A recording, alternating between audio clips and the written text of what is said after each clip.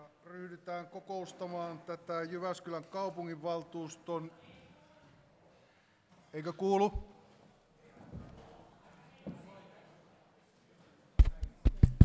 Yksi. Joo. Täytyypä puhua lähempää sitten. Eli ryhdytään kokoustamaan Jyväskylän kaupunginvaltuuston kokousta, joka on siis kahdeksas tänä vuonna. Ja aloitetaan kokous katsomalla, että ketä meitä täällä on paikalla, eli järjestäydytään.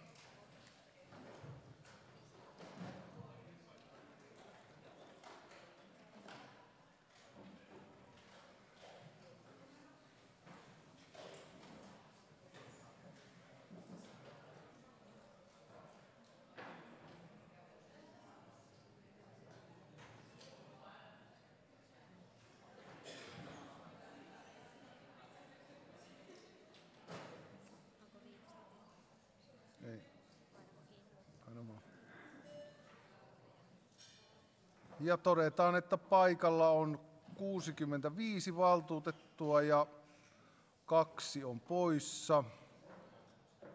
Jasmine Revon tilalle on tulossa Juha Paananen, mutta hän on ilmoittanut, että hän myöhästyy. Ja kaupunkisihteeri lukee poissaolijoiden varahenkilöt, ketkä ovat paikalla, eli varavaltuutetut.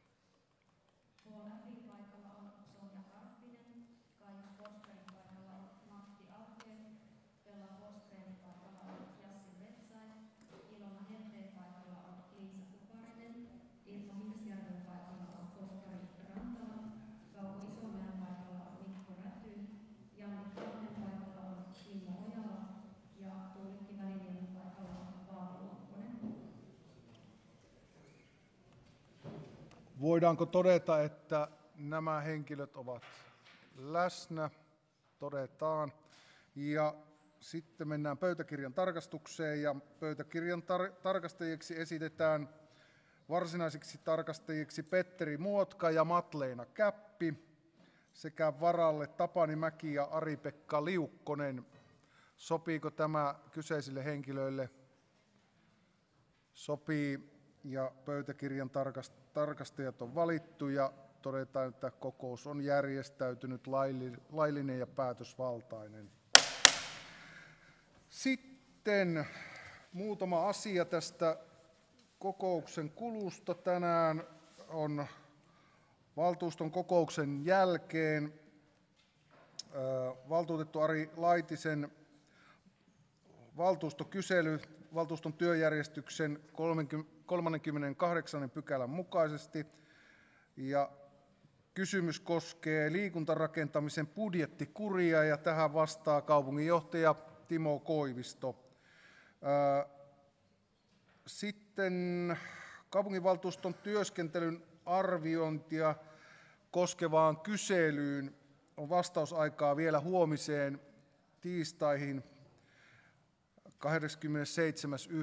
asti ja toivotaan, että kaikki mahd- mahdolliset äh, tai, tai kaikki mahdollisimman laajalla osanotolla kävisivät tähän vastauksen antamassa. Tällä hetkellä vastauksia on vasta 21.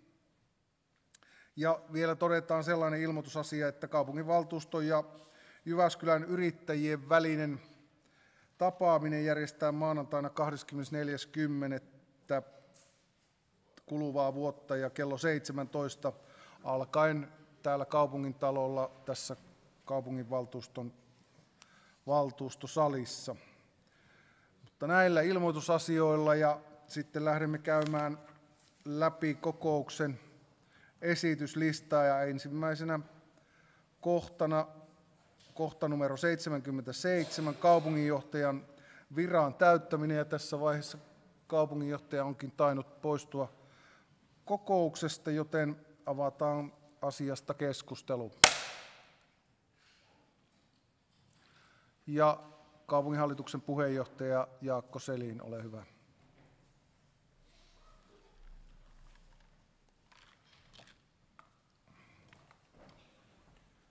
Arvoisa puheenjohtaja, hyvät valtuutetut. En ryhdy tarkemmin käymään sitä esityslistalla olevaa kaupunginhallituksen yksimielistä esitystä – läpi, totean vaan sieltä sovitusti yhden kohdan, eli siellä haastatteluryhmän kokoonpano osalta on lähdetty siitä, että haastatteluryhmänä toimii valtuuston puheenjohtajisto, koska kyseessä on valtuuston tekemä virkavalinta. Ja siihen sitten lisäksi kaupunginhallituksen puheenjohtajisto. Ja ryhmillä on ollut mahdollisuutta hieman omasta harkinnastaan täydentää tätä kokoonpanoa ja esimerkiksi perussuomalaisten ryhmän osalta on päädytty tällaiseen, että kun haastattelut helposti ajoittuvat tuonne viikolle, niin ei ole perussuomalaiset ovat omasta toiveistaan esittäneet, että kansanedustaja, valtuustovarapuheenjohtaja Toimi Kankaniemen sijaan tässä ryhmässä toimisi valtuustoryhmän puheenjohtaja Joni Parkkonen. Eli tällainen huomio vaan tästä ryhmän kokoonpanosta. Kiitos. Kiitoksia.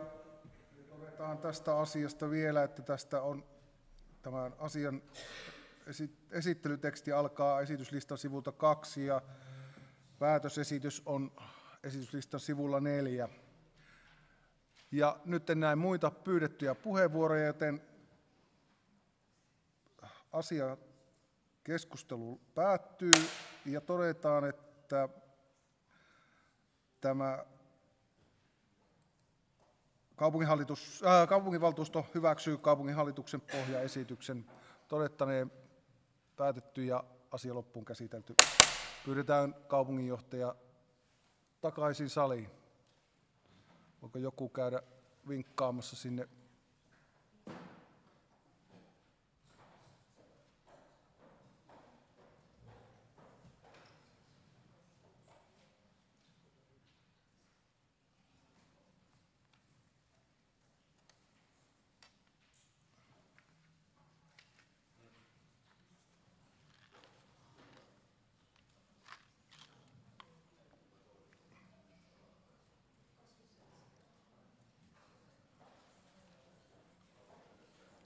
Aha, eikö kaupunginjohtaja...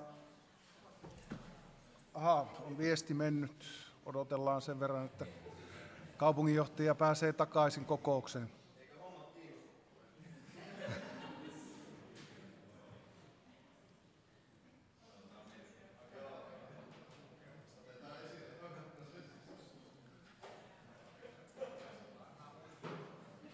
Toivotaan nyt kuitenkin, että, että tuota viestin kulussa on nyt tämä ongelma, eikä, eikä motivaatiossa. Ei ehtinyt Karjalan piirakkaa syömään loppuun. Me olemme nopeita tekemään näitä päätöksiä. Pidetään sama tahti loppuun. Näin tehdään. Sitten siirrytään esityslistan kohtaan 78, Jyväskylän kaupungin arviointikertomus vuodelta 2021. Ja tämän kohdan esittely alkaa esityslistalta listan sivulta viisi ja päätösesitys on esityslistan sivulla kahdeksan ja avataan asiasta keskustelu. Ja ensimmäinen puheenvuoro tarkastuslautakunnan puheenjohtaja Tapani Mäki. Ole hyvä.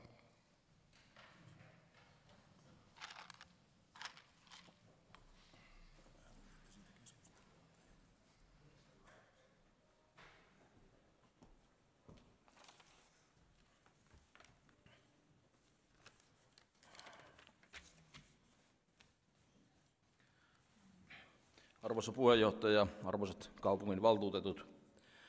Tänään käsitellään kuntalain mukaisesti kaupunginhallituksen lausuntoa valtuustolle toimenpiteistä, joihin arviointikertomus antaa aihetta.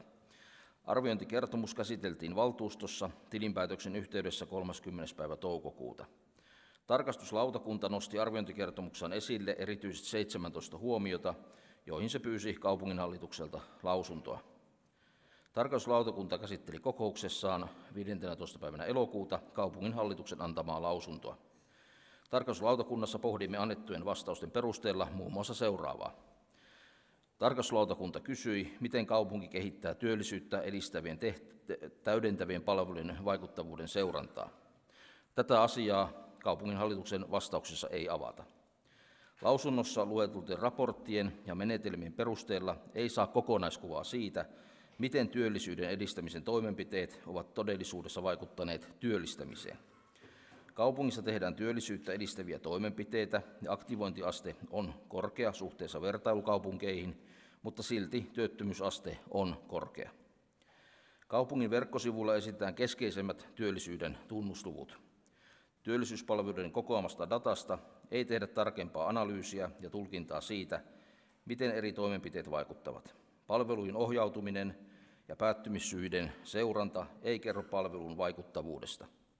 Seurantaa ja raportointia olisi tarpeen kehittää niin, että siitä saa käsityksen, miten kaupungin toimenpiteet ovat edistäneet työllistämistä kuntakokeilun asiakkaissa. Annetun tilastoinnin perusteella pitäisi pystyä tekemään päätelmiä siitä, millaisia työllisyyttä edistäviä toimenpiteitä on kehitetty ja miten ne ovat vaikuttaneet. Työllisyyden kuntakokeilua ja nuorten taloa koskevissa vastauksissa todetaan, että selvityksen jälkeen kaupunki arvioi sitä, missä laajuudessa ohjaamo voi ottaa vastuun nuorten työnhakijoiden palveluista. Nuorten palveluiden kehittäminen sektori- ja organisaation rajat ylittäen on ollut ohjaamon tavoite. Oleellista on, että nuorten palveluverkoissa on henkilö, vastuuhenkilö, jolla on ensisijainen vastuu palvelun vaikuttavista toteutumisista. Ohjaamo ei saa luoda uutta rajapintaa. Arvoisa puheenjohtaja, kaupunginhallituksen 6. kesäkuuta tänä vuonna 2022 tekemän päätöksen mukaan talouden sopeuttamiseksi käynnistetään konkreettisen uudistuksen suunnittelu ja toimeenpano sellaisten kokonaisuuksien osalta, jotka tuovat kaupungin toimintaan lisää taloudellista liikkumavaraa. Päätöksen mukaan yksi keino on digitalisaation mahdollisuuksien hyödyntäminen. Jatkossa digitalisaation etenemisessä odottaa raportointia osana talouden tasapainottumisen toimenpiteinä. Saanko lukea? Tarkastuslautakunta kiittää kaupunginhallitusta ja kaupungin henkilöstöyksikköä perusteellisessa selvityksessä koskien työterveyshuollon järjestelmien laajuutta suhteessa kaupungin taloudellisiin mahdollisuuksiin. Samoin tarkastuslautakunta kiittää vastauksesta, miten ne hiilineutraalisuustavoitteen saavuttamisen raportointia kehitetään. Tältä pohjalta on hyvä rakentaa päätöksentekoa tukevaa arviointia. Kiitoksia. Kiitos. Ja seuraavaksi valtuutettu Katri Savolainen valmistautuu valtuutettu Anna Nurmi.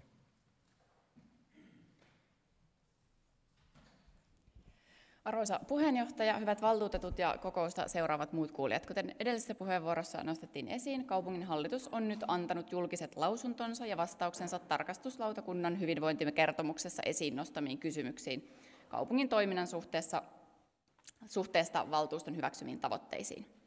Kaupungin hallitus on lausuntonsa kohdassa 14 vastannut, tai sanotaanko yrittänyt vastata, tarkastuslautakunnan esiin nostamaan relevanttiin huoleen kaupungin omistaman metsäalan suojelutavoitteeseen liittyen. Tarkastuslautakunta nosti esiin hyvinvointikertomuksessaan, että kaupungin metsäalasta on vuonna 2020 suojelun alla 17 prosenttia. Tarkastuslautakunta kysyikin hallitukselta, onko kaupungin strategiseksi tavoitteeksi asetettu 17 prosentin suojelutason säilyttäminen ilman prosentinkaan lisäsuojelutavoitetta seuraavalle neljälle vuodelle riittävä ja millä perusteella näin. Kaupunginhallituksen vastaus tarkastuslautakunnan kysymykseen on kuitenkin hyvin heikko. Siinä todetaan aluksi tarkastuslautakunnan esiin nostama tilanne nykyisestä suojeluasteesta, se on 17. Tämän jälkeen hallitus pohtii vastauksessaan, suora lainaus, Tulevina vuosina voi olla painetta nostaa suojeluprosenttia, mikäli EUn valmisteilla olevan biodiversiteettistrategian mukaiset tavoitteet tulee säilyttää. Siellä on esillä 30 prosentin suojelutavoite. Lainaus päättyy. Kaupunginhallitukselle tiedoksi EUn jäsenmaat ovat jo hyväksyneet kyseisen biodiversiteettistrategian lokakuussa 2020, sisältäen muun muassa yhteisen 30 prosentin suojelutavoitteen maa- ja merialueelle – kaikkien vanhojen metsien saamisen tiukan suojelun piiriin sekä suojelualueiden hoidon tehostamisen. Kaupunginhallituksen vastaus ei siis anna minkäänlaista selitystä sille, miksi Jyväskylä ei halua edistää eikä edetä EU-tasolla hyväksytyn biodiversiteettistrategian suuntaan. Siitäkään huolimatta, että luonnon monimuotoisuuden lisääminen on kirjattu myös kaupunkistrategiamme. En tiedä millaisessa kiireessä tai millaisella panostuksella hallitus on tämän vastauksen kirjannut, mutta tällaisenaan sillä ei ole käyttöarvoa meille valtuutetuille eikä aiheesta kiinnostuneille kaupunkilaisille. Kaupunginhallituksen vastauksia ei teknisesti voi palauttaa takaisin valmisteluun, mutta toivon, että Jyväskylän kaupungin metsien hoitoa ohjaavan asiakirjan eli kaupungin metsäohjelman päivityksen yhteydessä tähän suojelutavoitteeseen tullaan saamaan aito, luonnon monimuotoisuutta edistävä tavoite. Eikä metsäohjelmamme päivitys tyydy tämän kaupunginhallituksen vastauksen tavoin vain toteamaan nykytilaamme, jossa kaupunkina tiedostamme kyllä keskisuomalaisen luonnon monimuotoisuuden suojelun tarpeen, mutta toiminnan tasolla emme tee muutoksia sen edistämiseksi. Kiitos. Seuraavaksi valtuutettu Anna Nurmi valmistautuu valtuutettu Elma Hyöky. Kiitos puheenjohtaja. Hyvät valtuutetut ja muut kuulijat. Tarkastuslautakunta on laatinut vuotta 2021 koskevan arviointikertomuksen ja tehnyt tarkkoja havaintoja. Koko kertomus on tehty asiallisella ja kantaa ottavalla tavalla. Kiitos siitä. Tarkastuslautakunta on kiinnittänyt huomiota useampaankin tärkeään asiaan ja tartun tässä puheenvuorossa niistä yhteen. Nuorten yksinäisyys ja ahdistuneisuus on lisääntynyt vuosina 17, 19 ja 21 tehtyjen mittausten perusteella. Joka kolmas korkeakouluopiskelija kärsii ahdistuksen ja masennuksen oireista. Kouluterveyskyselyn mukaan kohtalainen tai vaikea ahdistuneisuus on Jyväskylässä kasvanut peruskoulun, lukion ja ammatillisten oppilaitosten oppilailla vuodesta 2017 alkaen. Nuorten talon toimintakokonaisuutta todellakin tarvitaan, niin kuin olemme sivistyslautakunnassakin todenneet. Nuorten palveluiden järjestämisessä on tärkeää muistaa koulun merkitys nuorten kohtaamisessa, ja siksi koulun tulisi olla nuorille järjestettävien palveluiden tärkein yhteistyökumppani. Tämä on Jyväskylässä saatu pääpiirteittäin hyvin käyntiin. Yhteistyö perusopetuksen kanssa on hyvin oleellista ja toivon jokaisen koulun rehtorin ymmärtävän nuorten talon toimijoiden kanssa tehtävän yhteistyön tärkeyden. Nuorten talon palveluiden lisäksi on äärimmäisen tärkeää pitää huoli, että jokaisella oppilaalla ja opiskelijalla on mahdollisuus saada yhteys koulukuraattoriin ja kouluterveydenhoitajaan jo koululla. Tulevaisuuden kannalta on tärkeää, niin kuin kaupungin hallitus omassa vastauksessaan toteaa, että Keski-Suomen hyvinvointialue ottaa jatkossa vastuun nuorten talon palveluiden tuottamisesta ja tarpeen mukaan myös resurssoi niihin lisää. Nuorten talon kaltaisia palveluita tarvitaan ja nuorten hyvinvointiin panostamisesta tulee pitää huolta. Samaan aikaan meidän tulee ennakoida ja miettiä ennaltaehkäiseviä toimia jo varhaiseen lapsuuteen, jotta emme reagoi nuorten tarpeisiin jatkuvasti myöhässä. Esimerkki ennakoivasta toiminnasta on kaksivuotinen esiopetuskokeilu, jonka tavoitteena on muun muassa vahvistaa koulutuksellista tasa-arvoa sekä saada tietoa kaksivuotisen esiopetuksen vaikutuksista lasten kehitys- ja oppimisedellytyksiin ja terveen itsetunnon muodostumiseen. Erityisen hyvää esiopetuskokeilussa on kolmiportainen tuki, joka jatkuu samana esiopetuksesta perusopetukseen, ja tuen muodot näin varhain annettuna toimivat parhaimmillaan ennaltaehkäisevinä. Tämä ei ole pelkästään vain lapsen etu, vaan myös Jyväskylän kaupungin etu. Ennakointia tarvitaan ja ennaltaehkäiseviin toimintoihin ja tuen muotoihin meidän tulisi taata resursseja enemmän myös tulevaisuudessa, jotta lapsia ja nuoria pystyttäisiin tukemaan yhä varhaisemmassa vaiheessa. Lasten ja nuorten hyvinvoinnin pitäisi olla Jyväskylässä prioriteettilistan kärjessä. Kiitos. Kiitos. Seuraavaksi valtuutettu Elma Hyöky valmistautuu valtuutettu Matleena Käppi.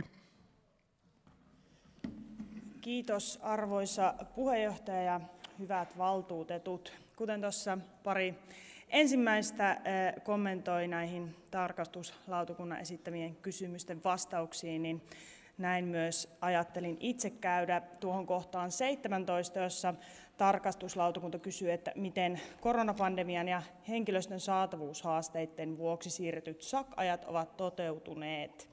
Kyseessä on tosiaan eh, varhaiskasvatuksessa ja toki hallitus vastaa tässä, että tärkeintä on se, että SAK Aikaa on riittävästi, mutta vastauksen lopussa sanotaan, että SAK-ajan ei tarvitse toteutua joka viikkoisena perusteella akuutit hätätilanteet, jossa esimerkiksi työkaveri sairastuu. Lapsen turvallisuus on toki aina ensisijainen. Mä olen silti aika pettynyt tähän hallituksen vastaukseen. SAK-aika tosiaan tarkoittaa opettajille varattua suunnittelu-, arviointi- ja kehittämisaikaa. Tällä ajalla opettaja muun muassa suunnittelee ja kirjaa pedagogiset lukujärjestykset seuraavalle viikolle, johon liittyy esimerkiksi toiminnan ja siirtymien suunnittelua, lasten osallistumista pienryhmissä ja ryhmän muiden aikuisten ohjeistusta. Opettajan tulee myös varmistaa, eh, että toimintaan liittyvät ohjeet ja pedagogiset tavoitteet kirjataan niin, että se on vedettävissä myös hänen poissa ollessaan. SAK-aikaa tulee siis olla opettajilla joka viikko ja mielellään joka viikko se täysimääräinen aika. Korona oli toki syy sille, että, että SAK-aikoja siirrettiin, ja tämän, varmasti tämän syyn moni myös ymmärtää. Mutta sen sijaan meidän täytyy nyt muistaa, että korona on jo pikkuhiljaa ohi, ja siitä huolimatta SAK-ajat edelleen siirtyy viikoilta toisille ja jää myös osiin käyttämättä. Me kaikki oikeastaan varmaan tietää, että varhaiskasvatuskentällä on aika kestämätön tilanne tällä hetkellä. Meillä ei ole tarpeeksi päteviä opettajia edes niihin vakipaikkoihin saati sitten meidän sijaisiin. Näkisinkin, että mitä epänormaalimpi tilanne tuolla meidän ryhmissä on, niin sitä tärkeämpänä se meidän SAK-aika ja pidetyt SAK-ajat näyttäytyy. Hyvällä suunnittelulla ne haastavatkin päivät voidaan järjestää niin, että siellä on laadukasta ja turvallista pedagogiikkaa jokaiselle lapselle. Um, toki kaupunkina meidän pitää löytää ratkaisuja, että miten tätä tilannetta lähdetään kehittämään. Uh, naapurikunnissa tämä ratkaisu on muun muassa parin sadan euron suuremmalla palkalla löydetty. Tämä imu on kova siellä, mutta palkka ei ole ainoa syy, mihin meidän pitää siirtyä. Otetaan myös työympäristö huomioon. Kiitos tästä ja nautinnollista iltaa. Kiitoksia ja seuraavaksi valtuutettu Matleena Käppi. Kiitos puheenjohtaja. Arvon valtuutetut, Arviointikertomuksessa vertailtiin yhdeksän suurimman kaupungin hiilineutraalisuustavoitteiden etenemistä – Jyväskylä on erittäin valitettavasti ollut häntä päässä sekä kokonaispäästöjen vähentämisessä että asukaskohtaisten päästöjen vähennyksissä. Kuten arviointikertomuksessa todetaan, hiilineutraalisuutta kuvaavien avainindikaattorien perusteella nykyinen päästöjen vähenemistahti ei ole riittävä. Mielestäni resurssiviisaustyö on jäänyt pahasti paitsioon Jyväskylän kaupunkiorganisaatiossa, ja nämä luvut kertovat siitä – Ilmastokriisin kiihtyessä tarvitaan kaikkien maiden, alueiden, kuntien, yritysten ja yksityishenkilöiden merkittäviä päästövähennyksiä sekä hiilinielujen kasvattamista. Tähän ohjaavat niin kansainväliset, kansalliset kuin kuntien omatkin sitoumukset. Resurssiviisaustyön ja hiilineutraalisuustavoitteen edistämiselle on saatava selkeä vastuutaho kaupunkiorganisaatiossa, toimiva, jatkuvasti päivitettävä seurantajärjestelmä sekä riittävät resurssit. On hienoa ja tärkeää, että seurantajärjestelmä onkin nyt kehitteillä ja viestintää tavoitteiden etenemisestä aiotaan lisätä. Kuten valtuutettu Katri Savolainen jo omassa puheessaan totesi, tarkastuslautakunta huomauttaa ansiokkaasti liian matalasta metsien suojelutavoitteesta – Metsästrategia on uudistettava pian ja suojelutavoite nostettava EUn biodiversiteettistrategian mukaisesti 30 prosenttiin. Näiden toimenpiteiden lisäksi olisi ainakin arvioitava myös kulutuksesta syntyviä ulkoistettuja päästöjä ja muita kulutuksesta johtuvia ympäristöhaittoja. Olisin toivonut kaupunginhallituksen vastaukseen kriittisempää ääntä ja sen myöntämis, myöntämistä, ettemme ole riittävällä tavalla onnistuneet resurssiviisaustavoitteissamme ja tilanteeseen on reagoitava. Oikea ratkaisu ei ole tavoitteiden vesittäminen entisestään. Kiitos. Ja nyt en näe muita puheenvuoropyyntöjä, joten Keskustelu asiasta päättyy ja todetaan, että kaupunginvaltuusto hyväksyy kaupunginhallituksen esityksen hyväksyttäneen hyväksytty ja asia loppuun käsitelty. Ja todetaan, että tämän, käsitte- tämän keskustelun aikana varavaltuutettu Juha Paananen on tullut kokoukseen valtuutettu Jasminen Revon tilalle. Siirrytään esityslistan kohtaan 79. Kauramäen päiväkodin perustaminen. Tästä esittelyteksti alkaa esityslistan sivulta 88 ja päätösesitys on esityslistan sivulla 89 ja avataan asiasta keskustelu.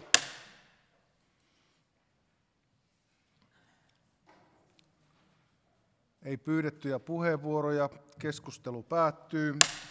Ja todetaan, että kaupunginvaltuusto hyväksyy kaupunginhallituksen pohjaesityksen hyväksyttäneen hyväksytty ja asia loppuun käsitelty.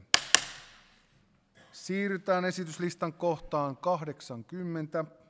Matti Nykäsen rahaston lakkauttaminen ja varojen siirto.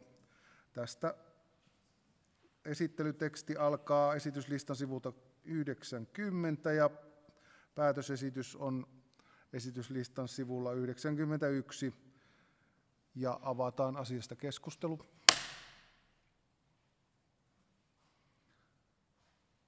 Ei pyydettyjä puheenvuoroja, joten keskustelu asiasta päättyy ja todetaan, että kaupunginvaltuusto hyväksyy kaupunginhallituksen pohjaesityksen hyväksyttäneen hyväksytty ja asia loppuun käsitelty.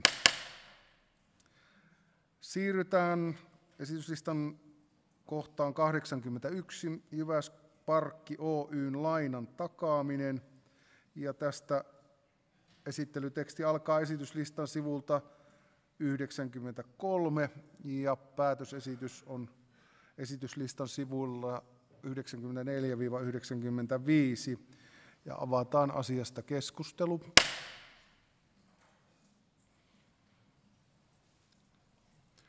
Ei pyydettyjä puheenvuoroja, joten todetaan, että asia, keskustelu asiasta päättyy ja kaupunginvaltuusto hyväksyy kaupunginhallituksen pohjaesityksen hyväksyttäneen hyväksytty ja asia loppuun käsitelty.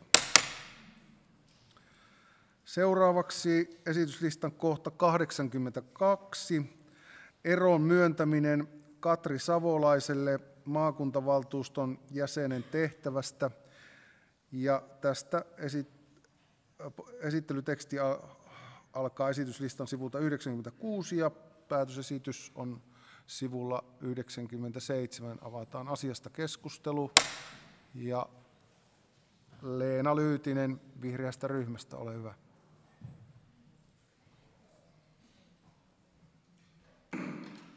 Kiitoksia arvoisa puheenjohtaja, hyvät valtuutetut.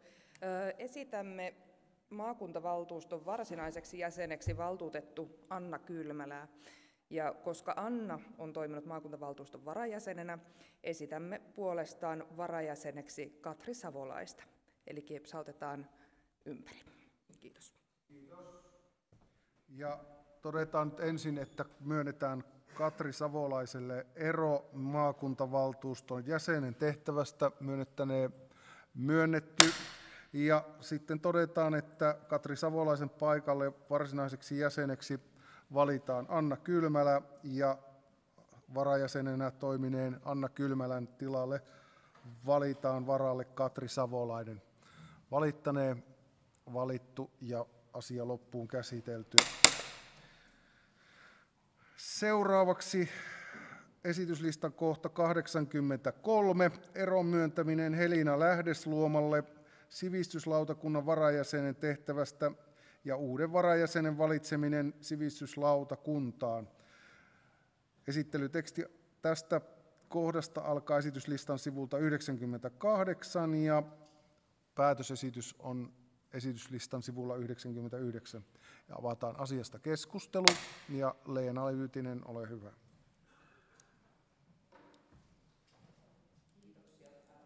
Hyvät valtuutetut, esitämme sivistyslautakunnan varajäseneksi varavaltuutettu Minna Myllymäkeä.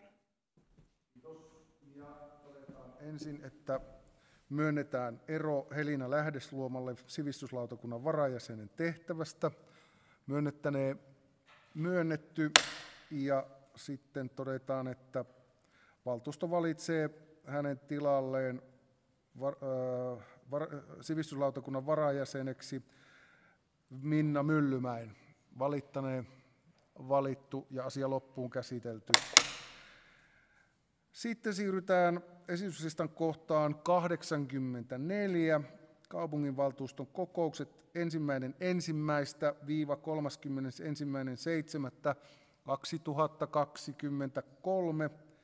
ja tästä esittelyteksti alkaa esityslistan sivulta 100 ja päätösesitys asiasta on esityslistan sivulla 100-101 ja avataan asiasta keskustelu.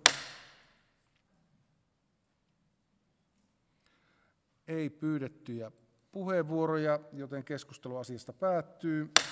Ja todetaan, että kaupunginvaltuusto hyväksyy kaupunginhallituksen pohjaesityksen hyväksyttäneen hyväksytty ja asia loppuun käsitelty. Sitten siirrytään esityslistan kohtaan 85. Vasemmistoliiton valtuustoryhmän valtuutettujen valtuustoaloite Mäkituvan ja Mäkitorpan elävä kulttuuritoiminnan säilyttämisestä. Ja tästä esittelyteksti alkaa esityslistan sivulla 102 ja päätösesitys on esityslistan sivulla 105. Avataan asiasta keskustelu. Ja ensimmäinen puheenvuoro valtuutettu Rosa Heikkinen.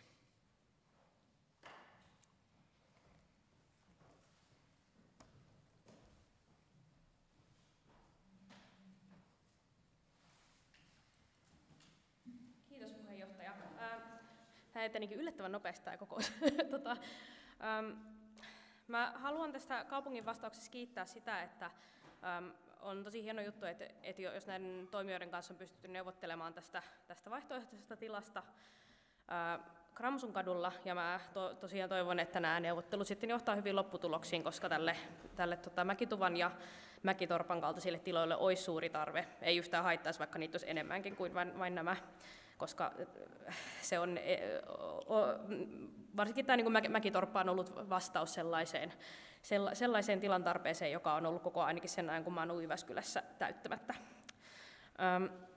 mä haluaisin tota, tähän, tähän vastaukseen sanoa kuitenkin semmoista kommentit, että, että tota, tämähän ei niin kuin, mm, mitä siinä ei mun mielestä kovin selkeästi ilmasta, ilmasta että ähm, mun näkemys on, että Pikkakatu 25 kulttuuriympäristönä ei edelleenkään säily tässä nykyisessä kaavassa ja nimenomaan kulttuuriympäristönä. Se ei, se ei ole sama asia kuin se, että suojelut rakennukset säästetään, vaan että tässä muutetaan nämä mäkitorppa ja mäkitupa yksityiseksi tilaksi. Ja tässä vastauksessa todetaan, että kaavaehdotuksen tarkoitus ei ole estää sitä kulttuuritoiminnan jatkumista siellä mäellä. Ja näin saattaa ollakin teknisesti ottaen, mutta käytännössä, siis kuka tahansa voi käydä siellä rakennuttajan suunnitelmista lukemassa, että sitä ei olla aiota säilyttää, vaan ne tilat on jäämässä niiden uudisrakennusten asukkaiden käyttöön. Tämä ei ole mikään aloitteen tekijöiden kokemus, vaan näin siitä on koko ajan viestitty ulospäin, ja rakennuttajan suunnitelma ei ole tältä osin muuttunut, mitä mä äsken, äskenkin kävin sen nettisivuilla katsomassa. Ja tämä suunnitelma on tässä aloitevastauksessa vähän sivuutettu. Sitten mä haluaisin semmoisia kysymyksiä tässä herättää, että niin kuin Minusta tässä on kysymys vähän muustakin kuin vain niin kuin yhden tilan käyttö, käyttötarkoituksista. Että minkä takia tätä kaavaa on alun perin lähdetty valmistelemaan ilman, että näitä kulttuuritoimijoita on, on osallistettu riittävästi, riittävästi ja miksi tämä alueen säilyminen kulttuuriympäristönä ei ole voinut olla siinä kaavavalmistelun lähtökohtana. Et, et ottaa sen, että säilytään tämä ympäristö, säilytään tämä toiminta, ja sitten mietitään, että mitä, mikä, miten tämä rakentaminen sopii tämän kanssa yhteen. Minusta sen pitäisi olla se niin kuin, asioiden järjestys, kun, kun tota, tässä nä, näitä kaavasuunnitelmia tehdään. Ähm, mä en esitä tätä, tätä va, palautettavaksi va, valmistelua, vaikka vähän mieli teki, mutta tota, Mä toivon, että, että tämmöiset niin kuin, kysymykset huomioidaan kaavavalmistelussa jatko, jatkossa paremmin ja, ja että tota, ja, ja että tähän kaupunki nyt todellakin on, on, on sitten sitoutunut tukemaan näitä toimijoita tämän tilan, tila-asian kanssa, koska siihen ei pelkkä raha riitä, vaan pitää myös olla ne tilat. Kiitos. Kiitos. Ja seuraavaksi valtuutettu Ari-Pekka Liukkonen. Kiitoksia. Arvoisa puheenjohtaja, hyvät valtuutetut. Kulttuuritoimijoiden tilakysymykset on puhuttanut laajasti viime vuosina ja tilakysymyksiä on etsitty ratkaisuta muun muassa Jyväskylän sydänprojektin avulla. Vanhan lyseorakennuksen peruskorjaus ja kaupungin teatteri- ja sinfonian tilaratkaisut auttaa omalta osaltaan näihin, näihin tilakysymyksiin ja avaa myöskin mahdollisuuksia vapaan kentän kulttuuritoimijoille. Kulttuuritalo Villarana on myös hyvä esimerkki tavasta, jolla kulttuuritoimijoiden tilaratkaisut on pystytty tässä kaupungissa ratkomaan. Mäkituva ja Mäkitorpan tilaratkaisuissa on alkujankin tiedetty, että ne on väliaikaisia, ja nyt kun nämä tilat on kaavamuutoksen myötä näillä näkymin poistumassa kaupungin omistuksesta, niin on sitten korvaavia tiloja kyseisille kulttuuritoimijoille etsitty ja etsitään yhteistyössä kulttuuripalveluiden ja tilapalveluiden kanssa. Ja just tämä Rosa mainitsema Kramsunkadun tila on, on ollut yksi, yksi, josta on käyty, käyty keskusteluita ja, ja se ainakin tällä hetkellä käsittääkseni vaikuttaa ihan, ihan lupaavalta. Ja tavoitteena on myöskin saada kaupungin tiloja mahdollisimman tehokkaasti kuntalaisten käyttöön ja, ja tota, tätä keskustelua on hyvä jatkaa, jatkaa koska ää, varmasti kaupungin suuresta niin kun kiinteistömassasta löytyy sellaisia tiloja, jotka eivät parhaalla mahdollisella tavalla ole hyödynnettävissä kaupungin omaan toimintaan, mutta joista löytyy sitten, sitten taas hyviä, hyviä tiloja erinäköiselle kulttuuritoiminnalle ja, ja muutenkin kuntalaisten käyttöön. Kiitos. Kiitos. Ja sitten kommentti valtuutettu Eila Tiainen.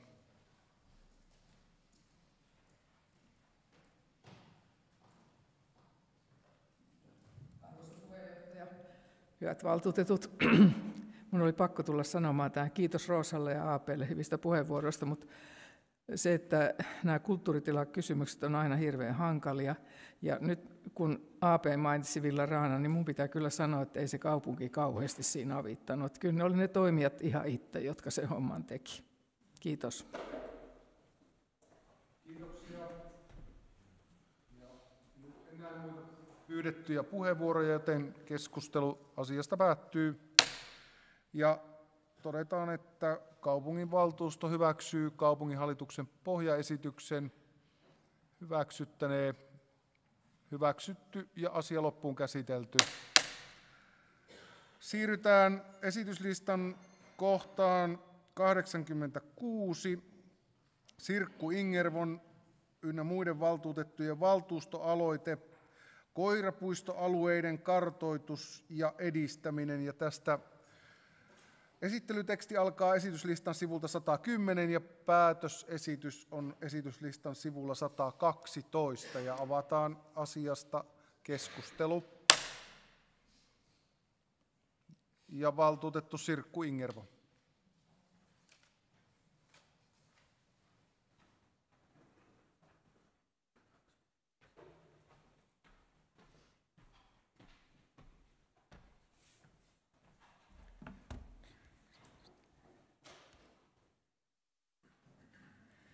Joo. Kiitos puheenjohtaja. Hyvät valtuutetut. Tulkitsen tämän aloitevastauksen koirapuistojen lisäämiseen myönteisenä. Ja se, että tehdään kyselyjä, että vuoden 2024 aikana sitten halukkaiden yhdistysten kanssa voidaan ruveta toteuttaa näitä, niin on mun mielestä oikein hyvä juttu. Ja joukkoliikenneasia tässä kanssa huomioidaan. Haluaisin nostaa esille vielä sellaisen, että asiaan, joka mielestäni on tärkeä. Et vaikka yhdistys ottaisi vastuuta koirapuistojen rakentamisesta, niin on tärkeää, että niiden turvallisuus, rakenteiden turvallisuus ja toimivuus ja niiden tarkistaminen olisi edelleen kaupungin vastuulla. Esimerkiksi muuten ihana ja hyvässä paikassa oleva Kirrin koirapuisto on ollut kesken ainakin useita vuosia edelleen, ja siellä on liian vähän, vähän tolppia aidassa, ja ne aidat joustaa molempiin suuntiin, kun koira hyppää sitä vasten. Ja hankalinta on se, että niitä portteja ei saa kiinni, ellei itsellä ole hihna mukana, jolla ne solmii ne portit kiinni. Et mä toivoisin, että tällaisia asioita voitaisiin sitten yhdistyn talkoilla tehtävien kanssa kuitenkin huomioida, että niistä, niissä ei ole tämmöisiä pulmia. Ja koirien määrä on kasvussa ja on tärkeää, että jokaisella koiralla olisi mahdollisuus juosta vapaana ja ihanne olisikin, että jokaisella asuinalueella, missä suinkin mahdollista, olisi sellainen alue, koirapuisto, jossa tämä olisi mahdollista. Ihan asutuksen vieressähän se ei ole mahdollista. Ja kiitos vielä kaikille allekirjoittaneille. Myös kolme koiraani kiittävät. Kiitos. Ja nyt en näe pyydettyjä puheenvuoroja, joten todetaan, että keskustelu asiasta päättyy. Ja todetaan, että kaupungin valtuusto hyväksyy kaupunginhallituksen pohjaesityksen todettaneen todettu ja asia loppuun käsitelty. todetaan myös se, että valtuutettu Jasmine Repo on saapunut edellisen asiakohdan käsittelyn aikana kokoukseen ja näin ollen varavaltuutettu Juha Paanonen siirtyy valtuutettu Riitta Mäkisen paikalle. Ja siirrytään esityslistan kohtaan 87. Täytyy oikein terävöityä, tämä on sen verran pitkä asiakohta. Eli Katri Savolaisen ja Ilona Helteen ynnä muiden valtuutettujen valtuustoaloite Rauhalahden voimalaitoksen energiatuotannon korvaamiseksi vaadittavien investointien toteuttamiseksi muulla kuin puun polttoon perustuvilla investoinneilla. Ja avataan asiasta keskustelu.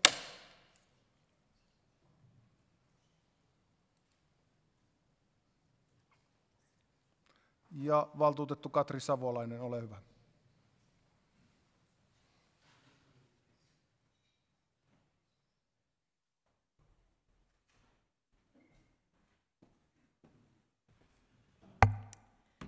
Arvoisa puheenjohtaja, hienosti meni otsikon esittely.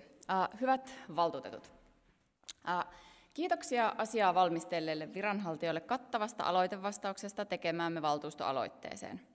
Me aloitteen tekijät esitimme valtuustoaloitteessa, että Jyväskylän kaupunki käyttäisi omistajaohjausta sen edistämiseen, että energiayhtiö Alvan tulevissa investoinneissa kohdennettaisiin investoinnit muuhun kuin puun polttoon perustuvaan energiantuotantoon. Motiivi aloitteen taustalla liittyy puunpolton energiakäyttöön sisältyviin epävarmuuksiin, joita on asiantuntijatahoilla tunnistettu niin taloudellisiin tekijöihin, biomassan riittävyyteen, ilman hiilidioksidipitoisuuden nousuun kuin luonnon monimuotoisuuteen liittyen. Tässä kohtaa haluan nostaa esiin, että aloitteen teon aikaan Venäjä ei ollut vielä aloittanut hyökkäyssotaa Ukrainassa, emmekä me olleet samalla tavalla tietoisia Euroopan laajuisesta vaarallisen korkeasta riippuvuudesta venäläisestä energiasta, emmekä myöskään olleet joutuneet pohtimaan energiakriisin tuomia moniulotteisia vaikutuksia yhteiskunnassamme tai tekemään kansallisia suunnitelmia venäläisestä energiasta mahdollisimman nopeasta irtautumisesta. Nämä suuret muutokset energiataloudessa onkin luonnollisesti otettava huomioon myös Alvan tulevissa investoinneissa. Energiakriisistä selviytymiseen liittyvät eri tahoilla viimeisen puolen vuoden aikana valmistellut toimintasuunnitelmat eivät kuitenkaan ole olleet ristiriidassa tässä valtuustoaloitteessa esitetyn tavoitteen kanssa, vaan päinvastoin. Useissa asiantuntija-analyyseissä on tunnistettu tarve kestävän ja polttoon perustumattoman energiantuotannon vahvistamiseen – Tästä syystä aloite onkin ajankohtainen myös nykyisessä energiapoliittisessa tilanteessa. Aloitevastauksessa annetaan selkeä kuvaus siitä, kuinka Alva tulee valtuuston sille asettamien taloudellisten tavoitteiden vuoksi käyttämään puuta energianlähteenä niin pitkään, kun se laissa luokitellaan uusiutuvaksi energiaksi, ja on samaisen taloudellisen edun nimissä valmis tekemään tarvittavia puunpolttoa lisääviä investointeja myös jatkossa. Nykyinen omistajaohjaus linjaus ei anna mandaattia luopua etupainotteisesti puunpolttoon liittyvistä investoinneista. Tämä on tietenkin näin meidän aloitteen tekijöiden tahtotilan näkökulmasta tympeä tilanne. Lohdullista vastauksessa kuitenkin on se, että polttoon perustumattomia energiatuotantomuotoja tutkitaan ja suunnitellaan puunpolton rinnalla aktiivisesti. Olen siis tyytyväinen viranhaltijoiden aloitevastaukseen. Omistajaohjaukseen liittyvän prionisoinnin osalta katseeni kääntyykin siis tässä valtuustosalissa istumaan valtuustoon. Olisiko enemmistö meistä mahdollisesti jo tällä valtuustokaudella valmiita tekemään kestävän kehityksen tavoitteiden mukaisia valintoja ja nostamaan ympäristön kannalta kestävät energiainvestoinnit taloudellisen hyödyn tavoittelun rinnalle myös alvalle asetetuissa tavoitteissa? Toivottavasti. Kiitos. Kiitos. Ja valtuutettu Sinuhe Wallinheimo. Todetaan tässä välissä, että esittely tästä asiakohdasta on esittely, esityslistan sivulla 116 ja päätösesitys sivulla 119. Sen verran jännitti puheenjohtaja tuon pitkä, pitkä tuota, asialistan otsikko, että en unohdin sen kertoa. Mutta ole hyvä, valtuutettu Wallinheimo. Kiitos arvoisa puheenjohtaja.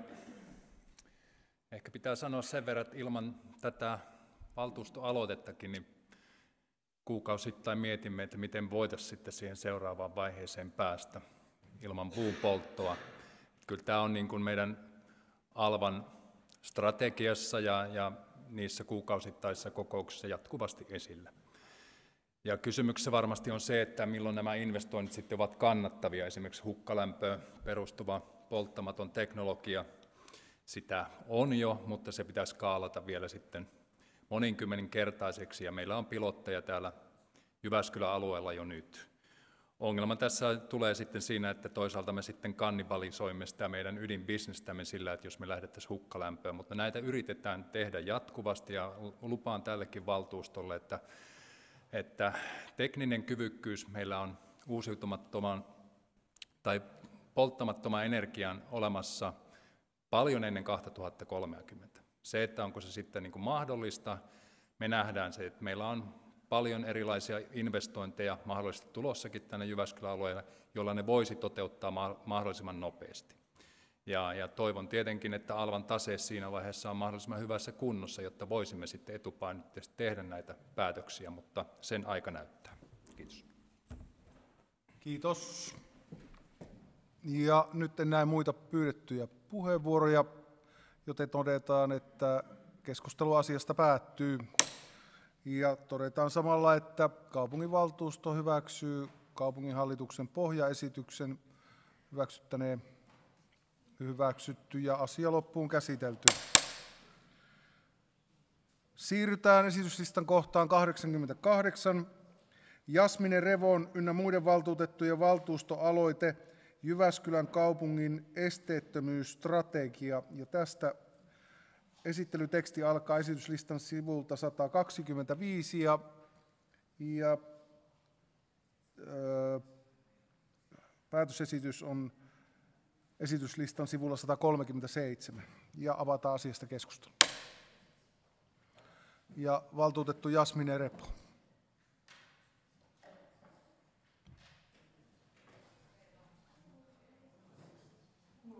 Nyt kuuluu.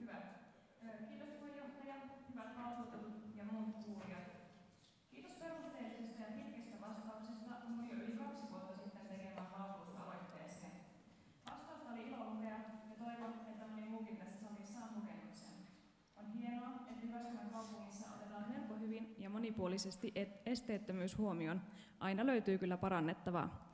Kysehän ei ole ainoastaan pyörätuolilla liikkuville rakennetusta, rakennetuista, rampeista ja automaattisesti avautuvista ovista, vaikka ne toki tärkeitä ja näkyviä osia esteettömyydessä ovatkin, vaan palveluiden esteettömyydessä tulee huomioida myös esimerkiksi kuulo- ja näkövammaiset.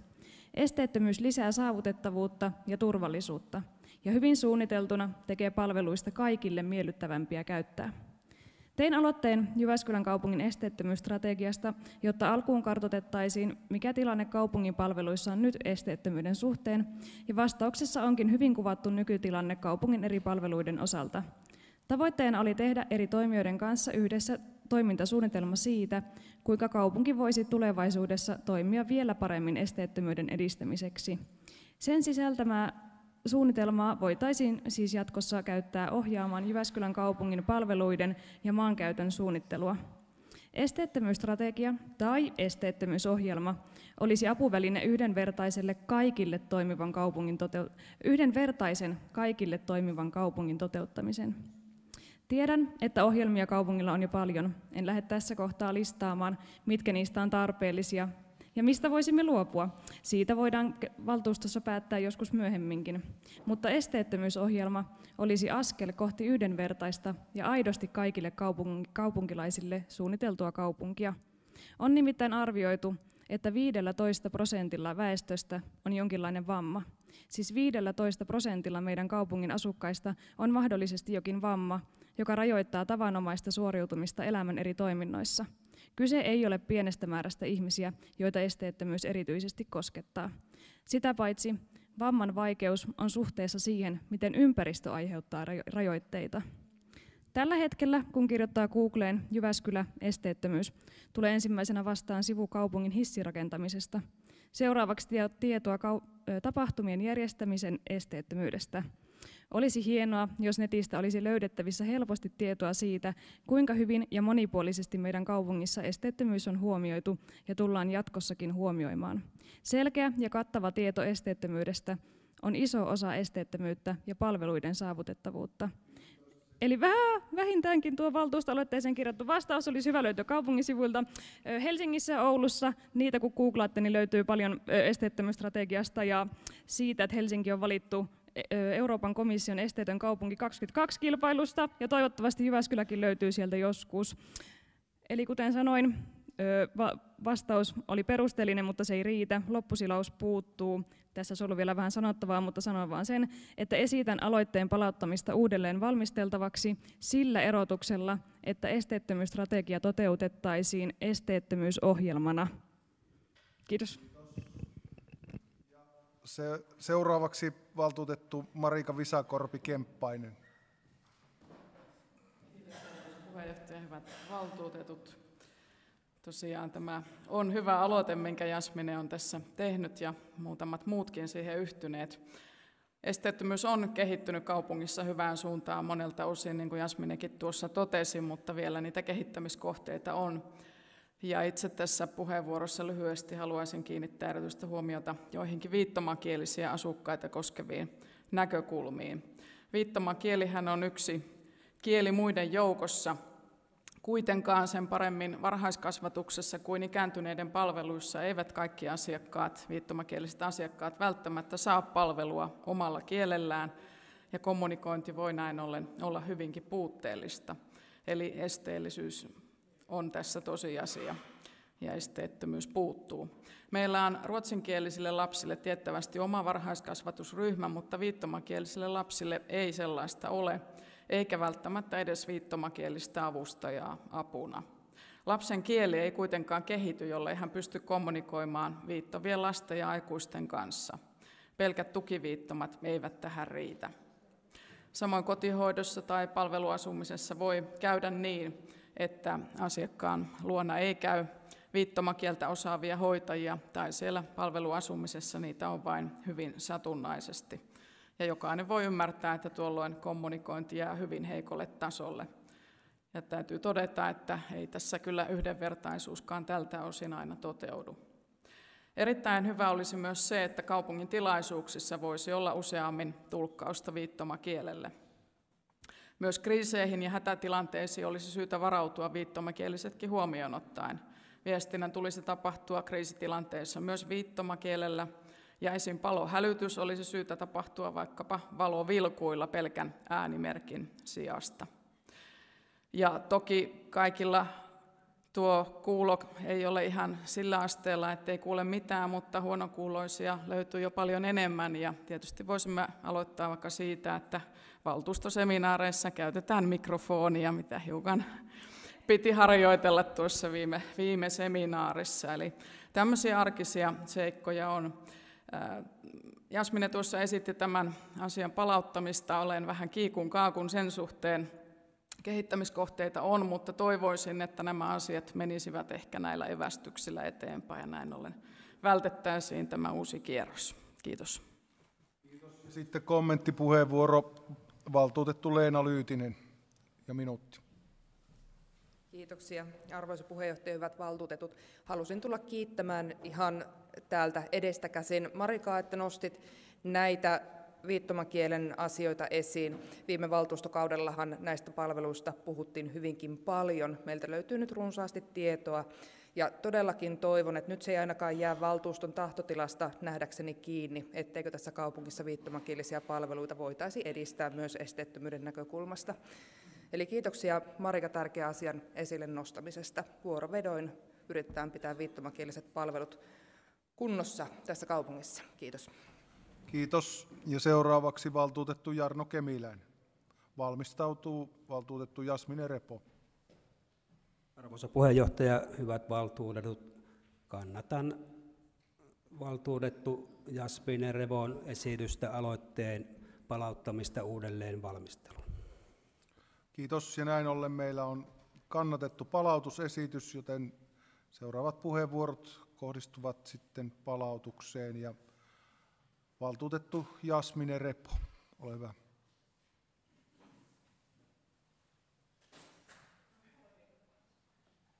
Tässä kestää hetki, että syttyy näköjään. Ö, eli kiitos kiitos puheenvuoroista, hyviä, hyviä kommentteja tullut ja nyt jos piti siihen palautukseen vaan liittyä, niin kyllä vieläkin on sitä mieltä, että ää, esitän, esitän tätä uudelleen valmisteltavaksi sillä erotuksella tosiaan, että strategia muuttuisi ohjelmaksi. Ja sitten haluan vielä tässä kohtaa vinkata sitä, että vähintäänkin tuo valtuusto aloitteeseen kirjattu vastaus olisi hyvä löytyä kaupungin sivuilta ihan vain vinkkinä, että se olisi, se olisi hyvää tietoa, tietoa meidän kaupungin esteettömyydestä, jolla voidaan kyllä ylpeillä.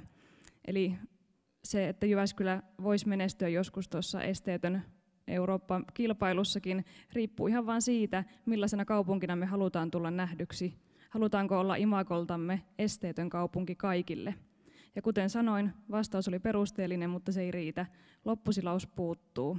Näin kattava kuvaus kuitenkin nykytilanteesta on jo tehty, niin miksei me tehtäisi tätä loppuun saakka?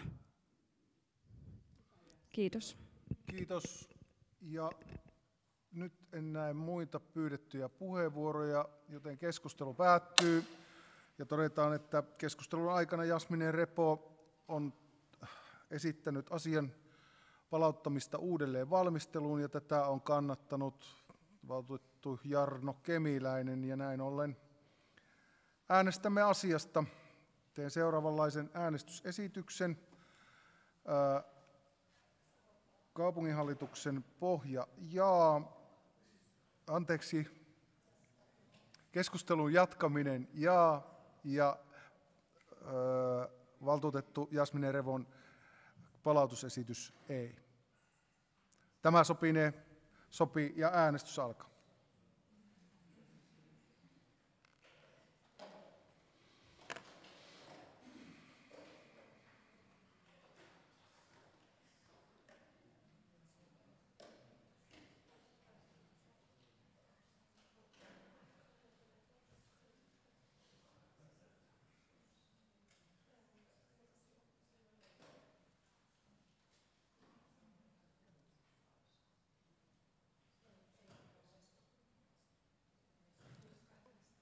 Onko näin, että valtuutetut Vallinheimo ja Aalto eivät halua asiasta äänestää? Ilmeisesti ei.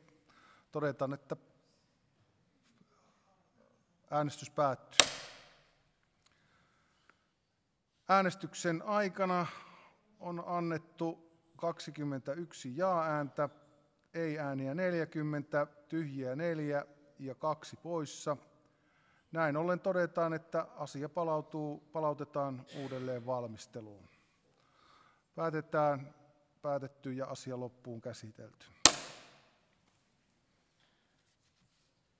Sitten siirrymme esityslistan kohtaan 89, 10 R2022 ohjelma Jyväskylän kaupungin maankäytön, asumisen ja liikenteen toteuttamisohjelma vuoteen 2032.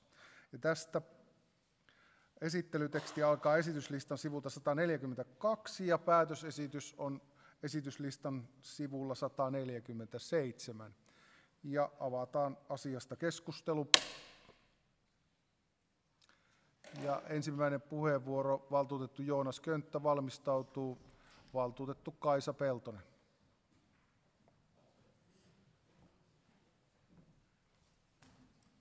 Arvoisa puheenjohtaja, vuonna 2021 käynnistynyt maankäytön, asumisen ja liikenteen sopimus MAL on merkittävä lisä kaupunkimme ja laajemmin koko seutukunnan kehittämiseen. MAL-sopimuksen myötä olemme osa Suomen suurimpien kaupunkiseutujen kehittämistä. Jo nyt tämä sopimus on tuonut rahoitusta useiden hankkeiden kehittämiseen, mutta jatkossa kaupunkimme edunvalvontamme kannalta on keskeistä huolehtia siitä, että MAL-sopimuskaupungit ovat samanveroisessa asemassa. Keskustan valtuustoryhmä kiinnittää huomiota rakentamisen ja asumisen monipuolisuuteen. Tarvitsemme elinvoimaisen keskustan sekä väljempää asumista ympäri Jyväskylää. On selvää, että eri elämänvaiheissa ihminen kaipaa erilaista asumista. Asumisen mahdollistamiseen myös haja-asutusalueilla on panostettava. Toiset haluavat asua kaupungin vilinässä, toiset väljemmin omakotitalossa. Nämä eivät ole toisiltaan pois. Jyväskylä on kuin Suomi pienoiskoossa. Meillä on elinvoimainen keskusta ja rauhallista maaseutua. Asumista on kehitettävä kaikkialla. Keskustan valtuustoryhmän mielestä myös järvien rantoihin rakentamista tulisi sallia nykyistä laajemmin. Kun tarjoamme monipuolista asumista, houkuttelemme monipuolisesti osaajia. Kysymys on myös kaupunkimme vetovoimatekijästä. Jyväskylän tulisi markkinoida monipuolisia, erityyppisiä asuinalueita. Jyväskylä on kuitenkin pinta-alaltaan noin seitsemän kertaa suurempi kuin Helsinki ja kolme kertaa suurempi kuin Tampere. Tämä on kaupunkimme vahvuus, jota on alihyödynnetty.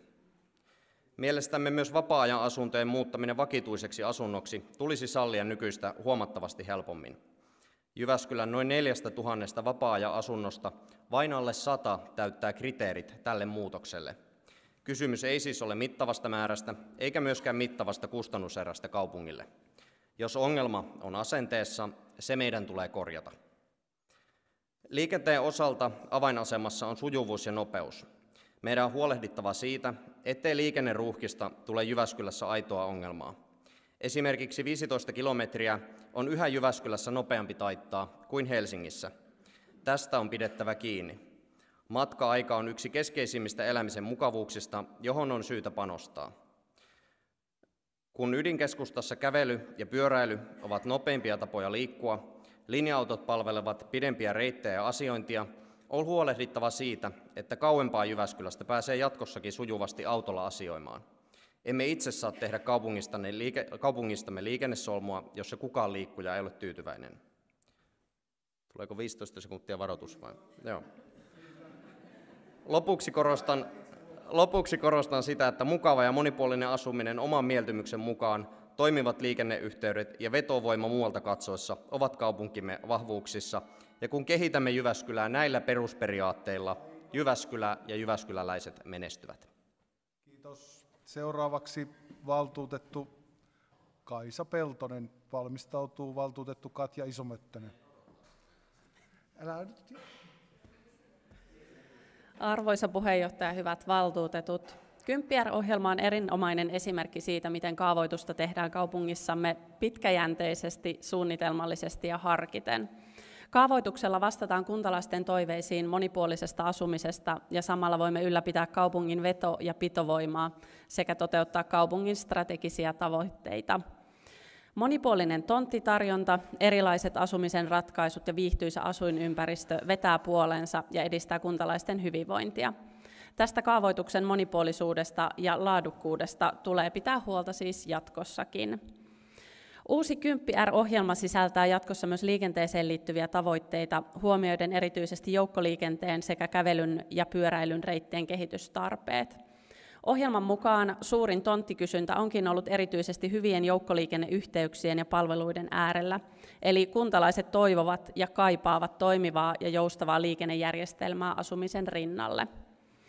Tavoite vähähiilisestä yhdyskuntarakenteesta on linjassa niin MAL-sopimuksen tavoitteiden kuin yhdessä sovitun kaupunkistrategiamme kanssa, joten jatketaan 10 R-ohjelmassa määriteltyjen erinomaisten tavoitteiden toteuttamista. Kiitos viranhaltijoille hyvästä 10 R-ohjelman valmistelusta. Kiitos. Ja seuraavaksi valtuutettu Katja Isomöttönen valmistautuu valtuutettu Petteri Muotka. Arvoisa puheenjohtaja, hyvät valtuutetut.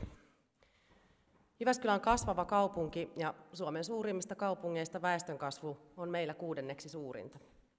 Jyväskylällä on vetovoimaa ja olemmehan yksi Suomen suosituimmista yliopisto- ja koulutuskaupungeista. Meidän muuttovoitto koostuukin merkittävältä osin nuorista aikuisista. Mutta ei riitä, että meillä on vetovoimaa.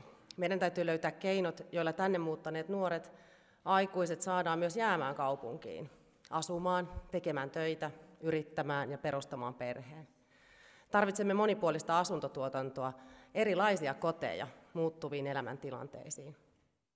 Jyväskylän kaupunkiseudun MAL-sopimuksen mukainen tavoite on, että näitä valtion tukemia kohtuuhintaisen asumisen osuutta tällä seudulla olisi vähintään 25 prosenttia uudistuotannosta. Näitä kohtuuhintaisia, tätä kohtuuhintaista asuntotuotantoa ovat ARA-rahoituksella toteutettavat vuokra-asunnot, asumisoikeusasunnot, asunnot ikääntyneille, asunnottomille, kehitysvammaisille, opiskelijoille, nuorisolle ja muille vastaaville erityisryhmille sekä toki nämä ARAN tukemat asumisen kokeilut. Nyt käsittelyssä olevasta 10 2022 ohjelmasta käy ilmi, että Jyväskylässä tästä kohtuuhintaisesta asumisesta on pidetty hyvin huolta. Viime vuonna kaikista valmistuneista asunnoista 46 prosenttia oli aratuettuja asuntoja, ja sen mukaan osuuden ennakoidaan, alle, ennakoidaan arvi, olevan keskimääräistä korkeampi myös tänä vuonna. Meillä on hyvä tilanne myös kerrostalo- ja rivitaloasuntotuotannon suhteen. Kysyntä vastaa tarjontaa. Tänä vuonna niiden osalta saavutetaan sekä kaavoituksen että tonttimarkkinoinnin tavoitteet. Mutta tavoitteet eivät toteudu omakotialueiden osalta. Olemme kokoomuksen ryhmästä tästä erittäin huolissamme, nimittäin siitä, että meillä ei ole tarjota perheille laadukkaita tontteja oman kodin rakentamiseen. Meillä ei ole tarjolla riittävästi isoja tontteja hyvillä sijainneilla, rantatonteista puhumattakaan. Kun asiasta oli puhetta kaupunkirakennepalveluiden toimialajohtajan kanssa, hän sanoi jakavansa huolemme ja vahvisti, että kysymys on nimenomaan tonttien laadusta. Tonttivarantoa on, mutta tarjonta ei vastaa kysyntää. Hyvistä tonteista on pula. Niitä tarvitaan lisää. Kymppiär-ohjelman erityisteemana on vuosille 2023-2024 Jyväskylän asumisvision päivitys. Päivityksen yhteydessä on oleellista kiinnittää huomiota pientalotonttitarjonnan laatuun. Esitänkin valtuuston päätökseen lisättäväksi seuraavaa pontta. Lisäksi kaupunginvaltuusto toivoo, että Jyväskylän asumisvision päivitystä laadittaessa kiinnitetään erityistä huomiota määrän lisäksi pientalotonttitarjonnan laatuun ja sijaintiin. Kymppiär 2022 ohjelma on ollut todella hyvä pitkän aikavälin suunnitelma. Se on kattava maankäytön, asumisen ja liikenteen toteuttamisohjelma, jonka avulla kaupungissa todellakin voidaan tehdä pitkän tähtäimen suunnitelmia. Kymppiär on hyvä työkalu, jolla pystymme lisäämään Jyväskylän voimaa, veto, pito ja elinvoimaa. Kiitos. Kiitos. Ja sitten esitys kirjallisesti kaupunginsihteerille. Ja seuraavaksi valtuutettu Petteri Muot, anteeksi, kommentti valtuutettu Timo Lehtonen, ole hyvä. Joo, kiitos arvon puheenjohtaja, hyvät valtuutetut. Itse on tuolla Vesangassa pari omakotitaloa rakentunut. On yksityiltä ostanut ne aikanaan ne tontit, mutta tota, täällä on korpilahtelaisia valtuutettuja paikalla, niin Mua vieläkin ihmetyttää, että mikä siellä Iloniemessä on tällä hetkellä tilanne. Muistan, Jouni Leinonen aikanaan visioi sinne jopa kylpylää tähän tuota, niin, rannan kupeeseen.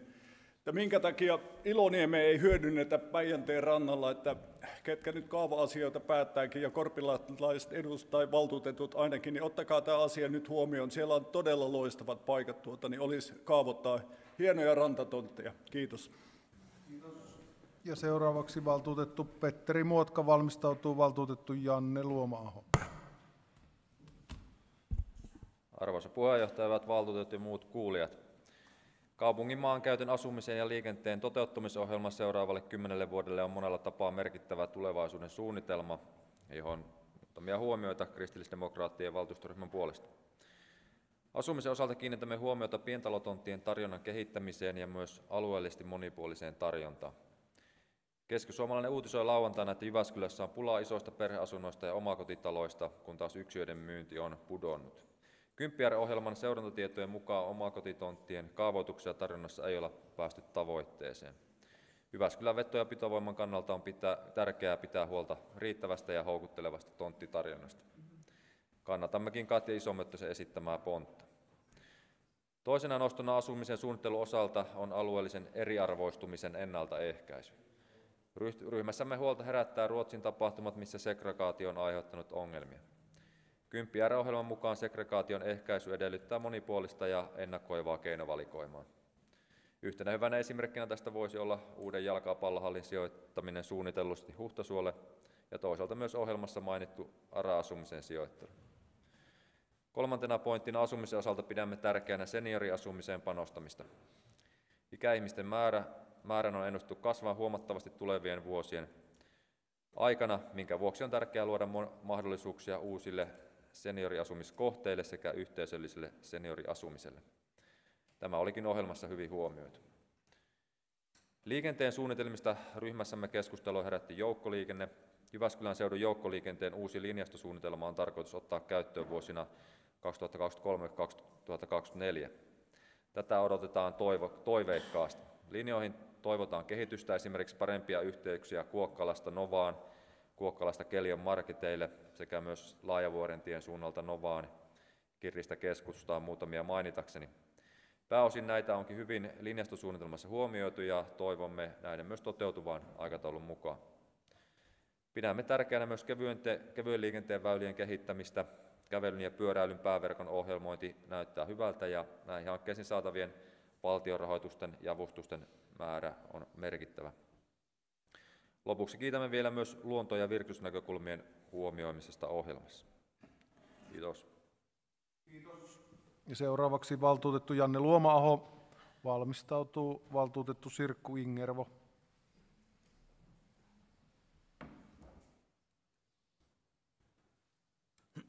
Arvoisa puheenjohtaja, hyvät valtuutetut.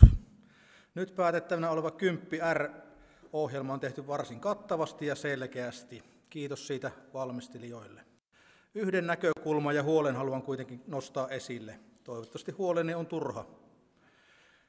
10 R-ohjelman päivitetyssä tavoitteessa on seuraavaa. Varmistaa asuintonttien riittävyys ja alueelliset, alueellisesti monipuolinen tarjonta Tonttitarjonta on eri puolilla kaupunkia, sikäli kun se on yhdyskuntarakenteellisesti kestävää, huomioiden muun muassa luonto- ja virkistysarvot, eri liikkumismuodot sekä taloudellisuus. Lisäksi siellä mainitaan edistää kestävää ja vähähiilistä yhdyskuntarakennetta ja liikennejärjestelmää. Maankäytön, asumisen ja liikenteen yhteensovittamisella lisätään kuntalaisten mahdollisuuksia liikkua, kävellä, pyöräillen ja joukkoliikenteellä. Asumisen kaavoittamisessa painopisteet on keskustan, alue- ja lähikeskuksien ja hyvien joukkoliikenneyhteyksien varsilla olevien alueiden täydennysrakentamisessa. Näiden tavoitteiden ei kuitenkaan tule estää tai hankaloittaa sitä, jos kuntalainen tai maanomistaja haluaa rakentaa itselleen kodin haja-asutusalueelle. Jokaisen ihmisen tarpeet asuinpaikalleen tulevat yksilöllisistä lähtökohdista ja tarpeista – Näitä tarpeita ja valintoja tulee kunnioittaa. Yhteiskunnan ja kaupungin ei tule niitä estää omilla toimenpiteillään tai ohjelmillaan. Kiitos. Kiitos. Ja seuraavaksi valtuutettu Sirkku Ingervo valmistautuu val- valtuutettu Kimmo Suomi.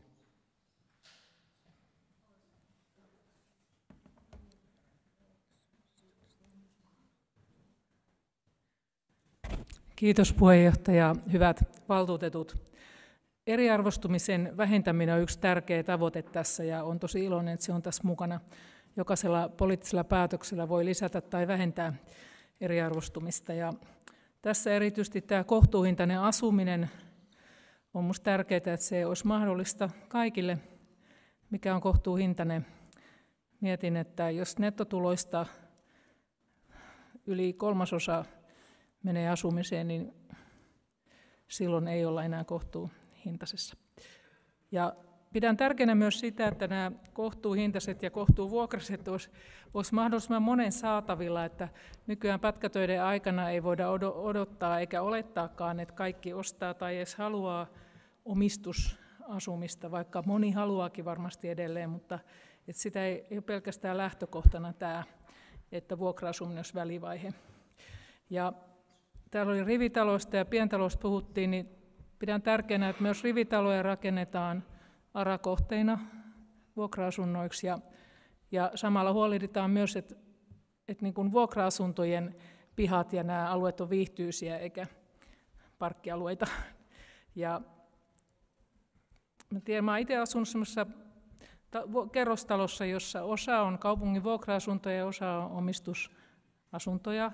Ja mä ajattelen, tämmöistä myös sekatalomallia ja myös tämmöistä aluemallia, että ei ole niin, että omakotialue ja omistusasunto ja sitten tuolla on kaupungin vuokra-asunnot, vaan ne on sopivasti sekoittuneina. Ja minusta se on niin kuin kouluissa tärkeää, että ei tehdä semmoisia hyvin, hyvin erilaisia alueita niin, että, että segregaatio lisääntyy siinä kaavoittamisen kautta, koska siitä se kuitenkin sitten lähtee tämä segregaatiokehitys, että miten kaavoitetaan. Pidän tärkeänä, että jokaisesta kerrostalosta joku ainakin lähtee joka aamu töihin, että ei tehdä taloja, josta kukaan ei lähde. Ja se on tietenkin myös niissä asumisen, kuka pääsee asumaan kaupungin vuokra-asuntoon niissä kriteereissä. Voi joskus miettiä, että onko se niin. Helsingissä oli niin, että omaisuus oli kriteeri, tietyn omaisuusrajan yli ei voinut päästä kaupungin vuokra-asuntoon ja just haluttiin niin, että olisi erilaisia taustoja samassa talossa. Ja tietenkin tämä lähiviheralueet on tärkeää, että nostetaan tässä, että vaikka saadaan, saadaan näitä rahoituksia raideliikenteelle ja kumipyöräliikenteelle, niin että lähiviheralueista pidetään huolta. Ja luonnonsuojelu haluaa erää, herää arjen, arjen luontokokemuksista ja luonto on myös itseisarvo. Ja valmistautuu valtuutettu Ari Laitinen. Arvoisa puheenjohtaja, hyvät kuulijat, kaupunkirakennelautakunnan varapuheenjohtajana hyvin mieluisa todeta, että voi yhtyä melkein kaikkien aikaisemmin tässä kohdassa puhune, puhuneiden niin kantoihin. Joonas Könttö mun mielestä nosti tosi hyvin tämän asian esille, että meillä on kyllä varaa, tai pitäisi olla varaa myös käytännössä enemmän poikkeamisluvilla rakentaa tai muuttaa esimerkiksi vapaa-ajan asuntoja vakituisiksi asumiseksi. Tuossa olen Kuntaliiton juttuja seurannut tästä teemasta, niin tietenkin kun täällä on kansanedustaja, niin, niin toivoisi jotenkin, että sitä säädeltäisiin myös valtakunnan tasolta tätä, tätä asiaa. Viittaan kan, kaksoiskansalaisuuteen, kaksoiskuntalaisuuteen tai monikuntalaisuuteen. Mutta tämä ei ole niin iso juttu, niin kuin tuossa tuli tämä esille sata neljästä tuhannesta kesämökistä, niin, niin on ehkä se, ja sillä voidaan e, e, tuota, niin enintään muutamilla kymmenillä lisätä kaupungin asukasmäärää tällä toimenpiteellä, mutta se on signaali ulkopuolelle, että meillä sallitaan myös poikkeava, poikkeava rakentamistapa. Meillä on varaa siihen, koska isoin kuntaliitosten yhteydessä 10-11 kertaistui meidän pinta-ala. Meillä on varaa siihen, että me annetaan näitä. Aikaisemminhan kunnat pelkästään niin kuin kovasti sitä, että subjektiiviset oikeudet tarvitsee sit taata sinne, missä se on e-, ennen se kesämökki ja, uusi, uusi asunto. Mutta nyt Kuntaliiton informaation mukaan, niin, niin kun se subjektiivinen oikeus sillä kunnassa niin kuin kapenee, niin, niin tämä asia tulee niin kuin tulevaisuudessa lisääntymään. Fundamenttijutut on kyllä sit ihan tässä ohjelmassa niin hyvin esitetty, eli se on se asuntotuotanto niin kokonaisuudessaan. Ja se niin oma huomio tuosta kaupunkirakennelautakunnan työskentelystä on, on se, että Mä voin nimetä muutamia niin kuin uudisasuntopaikkoja. Kinko, Vuori, Tammi, Rinne, Mäyrä, Mäki. Meillä on, tämä on ihan mitä Katja Isomöttönen täällä sanoi, niin voi täysin niin yhtyä siihen. Meillä ei ole riittävän kilpailukykyisiä pientalotontteja riittävästi. Tähän pitäisi kiinnittää niin merkittävästi huomiota. Segregaatiota vältetään sillä e, parhaiten, että kaupunki tai JVA ostaa vuokra-asuntoja kovarahan asunnoista. Ja seuraavaksi valtuutettu Ari Laitinen ja valmistautuu valtuutettu Ari-Pekka Liukkonen.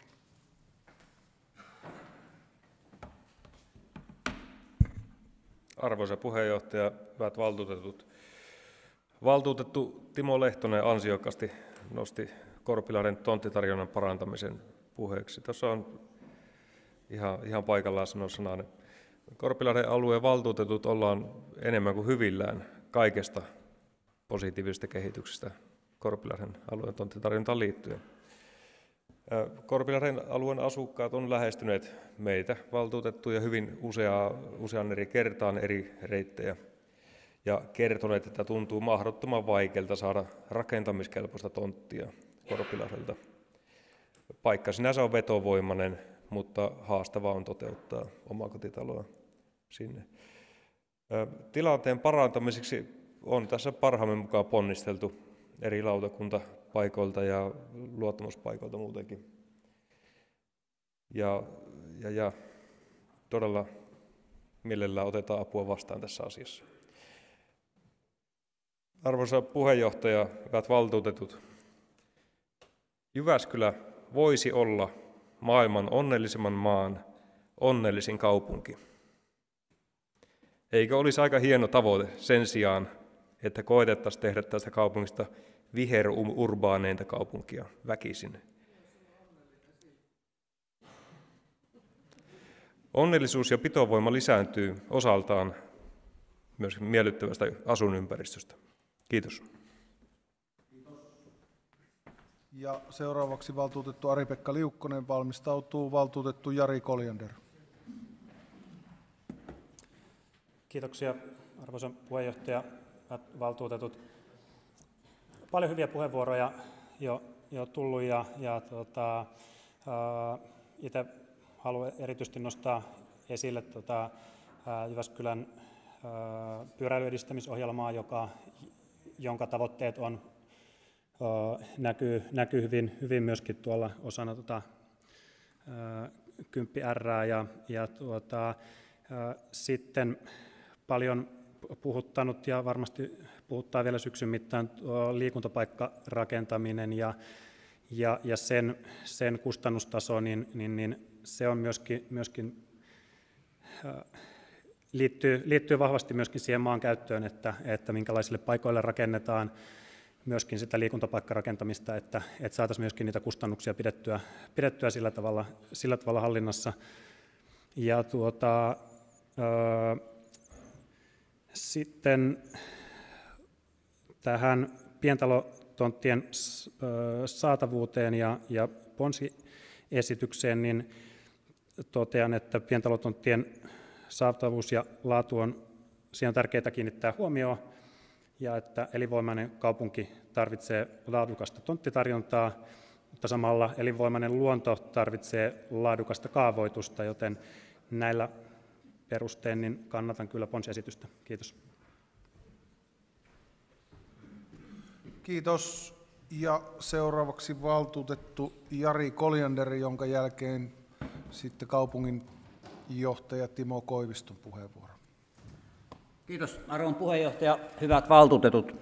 Jyväskylä on onnistunut pyöräteiden kehittämisessä menestyksellä. Kiitos siitä.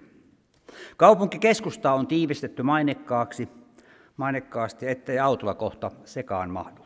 Edelleen viheralueita ei paljon enää kohta näy, sillä tiivis yhdyskuntarakentaminen yrittää luoda urbaania City Jyväskylään. Valitettavasti tärkeät omakotitalon rakentamisen määrät eivät ole toteutuneet suunnitellusti. On hyvä kiinnittää huomiota siihen, että maaseutualueita tulee myös kehittää, jonne muuttohalukkuutta on. Jyväskylällä on potentiaalia lisätä järvialueiden hyöntämistä laadukkaaseen asumiseen. Ei ole Jyväskylän etu, että uudet rakentajat ja muuttavat siirtyvät naapurikuntiin joustavamman, edukkaamman ja asiakasystävällisemmän kohtelun takia. Pysyvän asumisen lupia tulee kirjata, tulee myös järkiperistöjen saada maaseutu kautta haja-asutusalueelle. Lupamenettely pysyvän asumisen rakentamiseen kaava-alueiden ulkopuolelle on erittäin vaikea tällä hetkellä ja asukkaat kokevat asiassa epätasa-arvoa. Uudella toimialan johtajalla on nyt mahdollisuus ottaa johto käsiinsä ja uudistaa luutuneita taantumuksellisia periaatteita, joita Jyväskylässä on vuosia noudatettu. Kiitos. Kiitoksia ja seuraavaksi kaupunginjohtaja Timo Koivisto. Arvoisa puheenjohtaja, hyvät valtuutetut. Tämä luutuneet ja taantumukset asenteet vähän, tota, vähän pysäytti, mutta, mutta jos lähdetään kuitenkin liikkeelle, äärimmäisen tärkeän aiheen ympärillä on käyty erittäin hyvä keskustelu. Se, miten meidän siis sekä vetovoima että pitovoima toimii, niin on monestakin asiasta kiinni. Oppilaitokset, työpaikat vetää tänne ihmisiä, työpaikat erityisesti pitää täällä valmistuneita ihmisiä, mutta, mutta sitten tämmöiset vähän, vähänkin pehmeämmät vetovoimatekijät, kun ihmiset pystyy valitsemaan sitä omaa asuinpaikkaansa, työpaikkaansa mihin perheen perustaa, niin siinä tämmöiset kysymykset kuin vaikka, että meillä on monipuolinen tonttitarjonta, meillä on monipuolinen asuntovalikoima, ei siis pelkästään omakoti, valikoimani on äärimmäisen tärkeitä kysymyksiä. Ja varmasti on niin, että meillä voisi olla vielä parempi tämä omakotitonttien tarjonta, mutta ei meillä sellaista tilannetta, ettei synny väärää kuvaa, että täällä me emme pystyisi tarjoamaan sitä tarvetta vastaavaa tonttimäärää, tai että meidän tonttitarjontamäärät olisi jotenkin, luovutettavien tonttien määrät olisi jotenkin jääneet alle tavoitteen. Mun ymmärryksen mukaan lähinnä se omakotitonttien kaavavaranto ei ole sitä viiden vuoden tavoitetta, mikä sen pitäisi olla. Ja se on tietysti eri asia kuin luovutettavien tonttien määrä. Mutta se on tosiasia, että aikanaan esimerkiksi kuntien yhdistymisen jälkeen lähdettiin kasvattamaan yli sadan sitä luovutettavien tonttien määrää, ja se ei ole toteutunut, vaikka meillä se tonttimäärä oli tarjolla, niin ei mennyt kaupaksi. No se ei ole kysymys pelkästään siitä määrästä, vaan ennen kaikkea, niin kuin täällä eri puheenvuoroissa Isomettäisen Katja taisi ensimmäisenä nostaa esille, että tämä laatu on äärimmäisen tärkeä kysymys myös. Että mistä alueelta niitä tontteja on. Tietyiltä alueilta, kun vaikkapa Haukkalasta meillä oli tontteja tarjolla, muutama kymmenenkö sieltä oli, niin moninkertainen määrä tuli halukkaita – Eli mistä päin kaupunkia niitä on tarjolla ja sitten toisaalta minkälaisia tontteja ne on sillä alueella. Omarantaiset tontit on tässä noussut esille, mutta muutenkin se tontin laatu sillä alueella voi olla tärkeä. Mutta esimerkiksi se edellinen asumisvisio, niin mihin tuossa ponnessa viitettiin, että siinä, siihen asumisvisiossa täytyy ottaa huomioon näitä kysymyksiä. Näin on tarkoitus tehdä. Seuraavan asumisvision valmistelu käynnistyy ensi vuonna, tai taidetaan hyväksyä ensi vuonna. Valmistelu on käynnissä. Mutta meillä on edellinen asumisvisio, jossa lähdettiin siitä, että pitää olla laadukkaasti ja, ja riittävä määrä tontteja tarjolla. Ja kyllä meidän ymmärryksen mukaan on ollut myös omarantaisia tontteja, edellytettiin siinä asumisvisiossa, että niitä on tarjolla ja niitä on, on ollut. Onko riittävästi? Ei varmaan koskaan ole riittävästi, mutta ei niitä ihan helppo ole myöskään löytää, mutta kyllä meillä on tulossa kaavoitusohjelmaan vaikkapa Kuokkalaan, Salmirantaan omarantaisia tontteja. Varmasti on hyviä ja halukkaita haluttavia tontteja. Samalla totta kai pitää pitää huolta siitä, että kuntalaisilla on virkistymismahdollisuudet. Meillähän sen päälinja tässä taisi tulla tämän uuden yleiskaavan yhteydessä, että nämä sisäjärvet, Palokka, Tuomio, Jyväsjärvi, niiden rannat on nyt aika lailla siis virkistyskäytölle tarkoitus säilyttää, mutta meillä on paljon muuta rantaa. Muu Päijänne tulee äkkiä mieleen ja paljon muuta, ja kyllä meidän niitä pitää pystyä hyödyntämään. Jos emme me niitä hyödynnä, niin sitten joku ympäristökunta kunta houkuttelee ne asukkaat omille tonteille, eikä se ainakaan nyt ole ympäristöystävällisempää kuin tänne Jyväskylään niitä toteuttaa. Sitten se uskomus tietysti, että nyt tässä jotkut ympäristökunnat meitä jotenkin erityisesti kuppaa huomattavasti paremmilla tonteilla, niin se ei meidän arvioinnin seurannan, kaupunkirakennepalveluiden seurannankaan mukaan pidä oikein paikkaansa. Että kyllä Jyväskylän tontit on halutumpia kuin vaikkapa Laukaan ja Muuramen. Mutta se ei tietysti tarkoita sitä, että meillä ei voisi olla tätä niin kuin nykytilannetta paremmin, ja totta kai pitää kehittää, että se on äärimmäisen tärkeä tavoite, että meillä on vetovoimaisia ja hyviä tontteja. Sitten tämä Korpilahden kysymys on noussut tässä pari kertaa esiin. Totta kai on, ja siinä Korpilahden ja Jyväskylän kaupungin siinä yhdistymissopimuksessakin asetettiin kovat tavoitteet sinne Korpilahden väkimäärän kasvulle ja tietysti tonttienkin määrän kasvulle. Niitä Korpilahdelle on kaavoitettu huomattavan paljon enemmän. Jyväskylän kaupunki on kaavoittanut Korpilahdelle, kun Korpilahden kunta aikoinaan pystyi kaavoittamaan. Mutta nytkin siellä on mun käsityksen mukaan vaikkapa siitä Kirkkolahden alueelta tontteja tarjolla. Ja on varmaan kuitenkin järkevä odottaa, että ne tarjolla olevat tontit jossakin määrin menevät ennen kuin avataan ihan suuria uusia alueita, kuten vaikkapa se Iloniemi, joka kyllä on tarkoitus sekin alue varmasti kehittää. Puheenjohtaja, tässä. Tässä keskustelun aikana valtuutettu Jasmine Repo on poistunut kokouksesta ja sitten jatketaan keskustelua ja kommentti, puheenvuoro valtuutettu Ari Laitinen ja valmistautuu varsinaiseen puheenvuoroon valtuutettu Kimmo Suomi.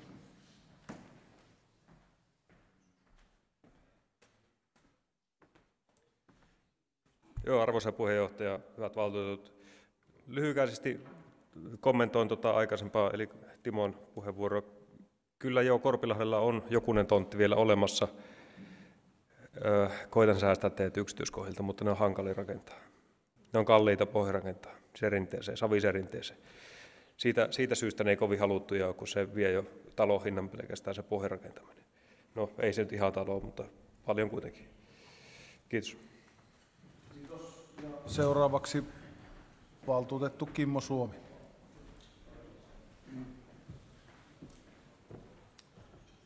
Arvoisa puheenjohtaja, hyvät kuulijat. Kyllä siis Timo varmaan on näissä perusteissa ihan, ihan oikeassa, mitä hän niin täällä, täällä toi esille, ja ei niitä niin kiistäminen. Siitä huolimatta niin, niin kuin kaupunkirakennelautakunnan varapuheenjohtajana, mä saan aika paljon palautetta siis siitä, että meille ne äh, niin kuin omakotiasumisen tontit ei ole riittävän laadukkaita. Ne sijaitsee vuorella, mäellä, rinteissä.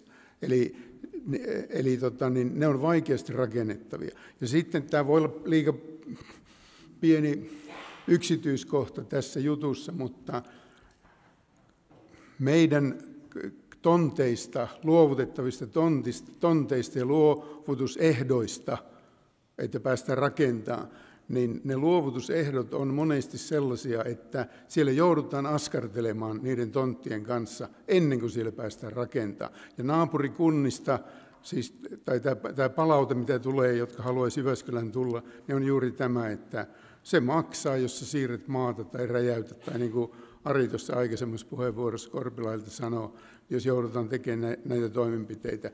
Onko niitä paljon vai vähän sitten niin kuin tällaista, mutta jos katsoo nämä, missä nämä meidän pientalotontit on, tai omakotitontit on, niin kyllä, kyllä ne on paljon rinteissä, vuorella ja mäellä. Tämä on niin se ihan, ihan tämmöinen, minkä voin kyllä huoletta sanoa, että tästä tulee paljon paljon palautetta. Ja tähän pitäisi kiinnittää huomiota ja myös siihen, että kun tontti luovutetaan, niin luovutusehdoissa ei enää sanottaisi, että louhi ensiksi tai aja maata pois. Se maksaa. Kiitos. Ja nyt en näe muita pyydettyjä puheenvuoroja, joten keskustelu asiasta päättyy. Ja keskustelun aikana ei ole tehty pohjaesityksestä poikkeavaa esitystä, joten todetaan, että kaupunginvaltuusto hyväksyy kaupunginhallituksen pohjaesityksen hyväksyttäneen, hyväksytty. Ja sitten todetaan, että keskustelun aikana Katja Isomöttönen on tehnyt ponsiesityksen ja sitä on kannattanut valtuutettu Petteri Muotka. Ja ponsiesitys kuuluu näin. Lisäksi kaupunginvaltuusto toivoo, että Jyväskylän asumisvision päivitystä laadittaessa kiinnitetään erityistä huomiota määrän lisäksi pientalotonttitarjonnan laatuun ja sijaintiin. Ja nyt kysyn valtuustolta, että voidaanko tämä ponsiesitys hyväksyä yksimielisesti.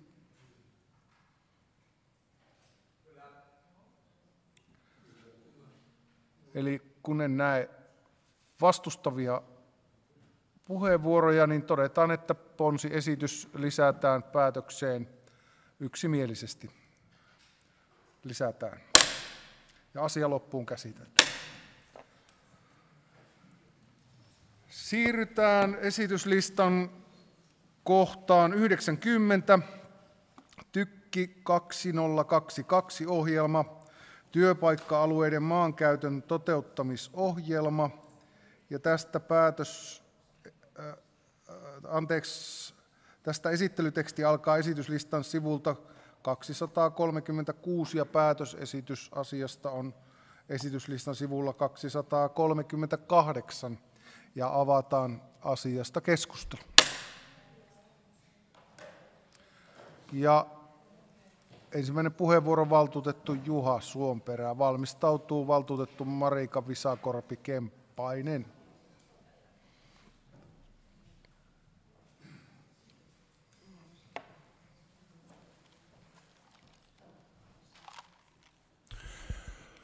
Arvoisa puheenjohtaja, Jyväskylä on yksi Suomen vetovoimaisimmista kaupungeista ja meidän tulee pitää huoli, että se on näin myös jatkossa. Jatkuva kasvu on edellytyksenä kaupungimme hyvän palveluverkoston ylläpitämiselle ja kaupunkimme kehittämiselle. Meidän on pärjättävä kilpailussa muiden suurten kaupunkien kanssa omilla vahvuuksillamme. Jyväskylä on Suomen liikuntapääkaupunki, ilmavoimien pääkaupunki, Suomen Ateena ja kyberturvallisuuden keskus ja täällä valmistuu koko ajan nuorta osaavaa työvoimaa. Kaupungin pitää katsoa maankäyttösuunnitelmissaan pitkälle tulevaisuuteen ja mahdollistaa asuntorakentamisen lisäksi myös riittävä ja houkutteleva mahdollisuus yritystoiminnan sijoittumiselle Jyväskylään. Yritysten menestyminen mahdollistaa kunnille terveen talouden, kohtuullisen verotuksen ja kuntalaisille tarjottavat palvelut. Tyki 2022 ohjelma on tärkeä ja hyvä työväline, jonka avulla mahdollistetaan määrällisesti riittävä ja laadukas tonttitarjonta ja varantotyöpaikkoja yritystoiminnalle. Jyväskylässä pitää olla kilpailukykyisiä toimintaympäristöjä sijoittumispaikkaa hakeville yrityksille ja työpaikkatoiminnoille. Viimeisimmän yrittäjäkallupin mukaan merkittävin vaikutus yrityksen investointihalukkuuteen on toimiva logistiikka. Eteläportti on mielestäni tästä hyvä esimerkki. Hyvällä sijaintipaikalla ja riittävän iso yritysalue, koska yritykset saavat synergiaa toisistaan. Tulevaisuudessa lienee syytä kääntää katseet myös lentokenttäalueen suuntaan. Se mahdollistaa hyvät kansainväliset yhteydet. Toki yritystoiminnan kannalta kaikkein tärkeintä on, että koko ketju toimii sujuvasti, hyvä markkinointi ja tiedottaminen, joustava kaavoitus, sujuva luvitus, palvelualttius ja hyvä yhteistoiminta. Puhutaan yhden luukun palvelusta, eli siis kun joku taho ottaa yhteyttä kaupunkiin, niin tätä palvellaan ja neuvotaan ripeästi ja johdonmukaisesti eikä pallotella lukulta toiselle. Eli helppoutta yrittäjille. Yrittäjien kuntaparometrin mukaan etenkin lupien sujuvuus koetaan tärkeäksi, koska odottaminen maksaa. Vastaavasti kaavoittamisen hitaus koettiin merkittävästi esteeksi yritysten kasvulle.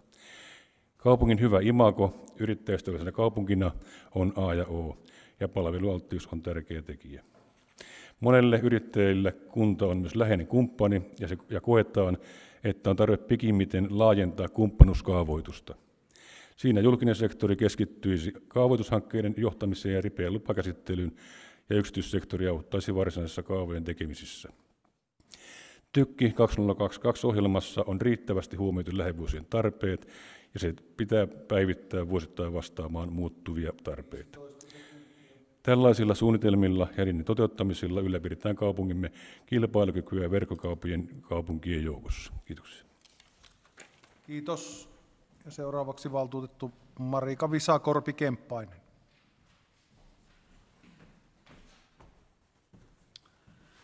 Arvoisa puheenjohtaja, hyvät valtuutetut, ensinnä haluan kiittää kaupunginjohtajan siitä esityksestä, että tämä asia tuotiin tänne valtuustoon, vaikka täällä nyt ei ihan valtavan pitkiä keskusteluja käytössä, niin kuitenkin on varmasti hyvä, että valtuustollekin tulee tämä tärkeä ohjelma tiedoksi, ja niin kuin tässä jo lautakunnan puheenjohtaja hyvin toi esille näitä seikkoja, niin yhä enemmän tämä elinkeinopolitiikka ja siihen tietysti kytkeytyvä työpaikkarakentaminen niin kaupungin toiminnassa nousee tärkeämmäksi. Onkin erittäin hyvä, että tämä teollisuus- ja työpaikkarakentaminen on suunnitelmallista ja, ja monipuolista tonttivarantoa varaudutaan tarjoamaan juurikin tästä edellä mainitusta syystä. Alueiden sijoittumisessa on syytä ottaa huomioon hyvät liikenneyhteydet, yhteensovittaminen asutuksen kanssa ja tietysti yritysten tarpeet, joita tässä äsken kuultiinkin, ja myöskin tonttien alueellinen jakauma. Pari huomiota tästä näkökulmasta etelästä, pohjoisesta ja vähän keskeltäkin. Korpilahdelle on toivottu myöskin näiden asuntotonttien lisäksi niin teollisuus- ja työpaikkatontteja ja ainakaan jonkinasteisella tutkimisella en, en nyt tuosta tykkiohjelmasta kyllä sellaisia huomannut. Toivottavasti olen väärässä ja sinnekin jokunen tällainen tontti on mahdollista tarjota jatkossa. Tikkakoskeen liittyen tässä Suomperä jo lyhyesti viittasikin tuohon lentokenttäalueeseen ja meidän lentoyhteyksien tulevaisuus tietysti on vähän epävarmaa, kuinka pitkään ne nyt sitten tulevat jatkumaan. Toivottavasti tulevat jatkumaan, mutta varmasti yksi seikka, millä sitä voitaisiin pitkällä aikavälillä tukea, on myöskin se, että sinne tätä työpaikkarakentamista sijoitettaisiin, ja onhan siinä tuo nelostiekin aivan vierellä. Huomiota kiinnittää, että Laukaa on kyllä sinne lentokentän läheisyyteen yritystonttejakin kaavoittanut. No sitten tuosta vähän keskemmältä tuossa tykiohjelmassa mainitaan yhtenä tonttialueena Keljonlahti ja sieltä on asukasyhdistyskin vähän huolta ilmaissut. Tästä ohjelmasta ei tarkkaan käy ilmi, että minne sinne tarkkaan ottaen Keljonlahdelle tätä aluetta nyt sitten kaavailtaisiin, mutta onko tuo järvenranta-alue ja myöskin ainakin osittain pohjavesialue välttämättä nyt sitten hyvä tähän tarkoitukseen, niin se oli ehkä ainut kysymysmerkki itselläni tästä. Mutta Kaiken kaikkiaan hyvä ohjelma ja hyvä, että olemme suunnitelmallisia tässäkin. Kiitos. Kiitos. Ja nyt en näe muita pyydettyjä puheenvuoroja, joten keskustelu asiasta päättyy. Ja todetaan, että kaupunginvaltuusto hyväksyy kaupunginhallituksen esityksen hyväksyttäneen hyväksytty ja asia loppuun käsitelty. Sitten siirrytään esityslistan viimeiseen kohtaan tänä päivänä. Ja se on esi- ö, asiakohta 91, osallisuusohjelma 2022-2025 ja esittelyteksti tästä alkaa esityslistan sivulta 253 ja päätösesitys asiasta on esityslistan sivulla 254 ja avataan asiasta keskustelu. Ja ensimmäinen puheenvuoro valtuutettu Mirja Hirvensalo valmistautuu valtuutettu Leena Lyytinen.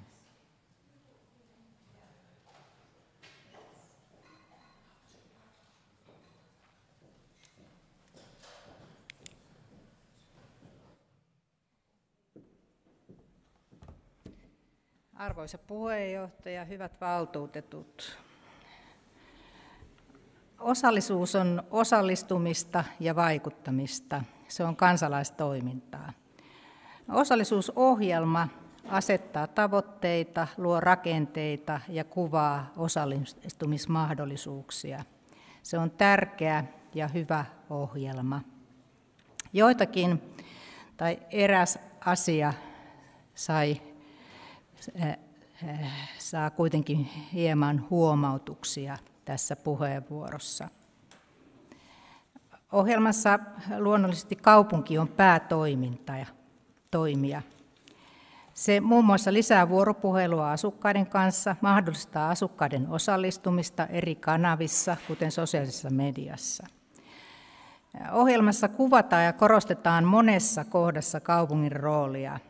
Kaupungin roolia korostetaan lähes joka kappaleessa. Ohjelman valmisteluprosessissa kerrotaan, tai siitä kerrotaan, että poikkihallinnollinen ohjausryhmä ja ohjaustiimi, tiimit eri toimialoilta tekivät tämän ohjelman ja toteuttivat sen. Asukkaita kyllä kuultiin.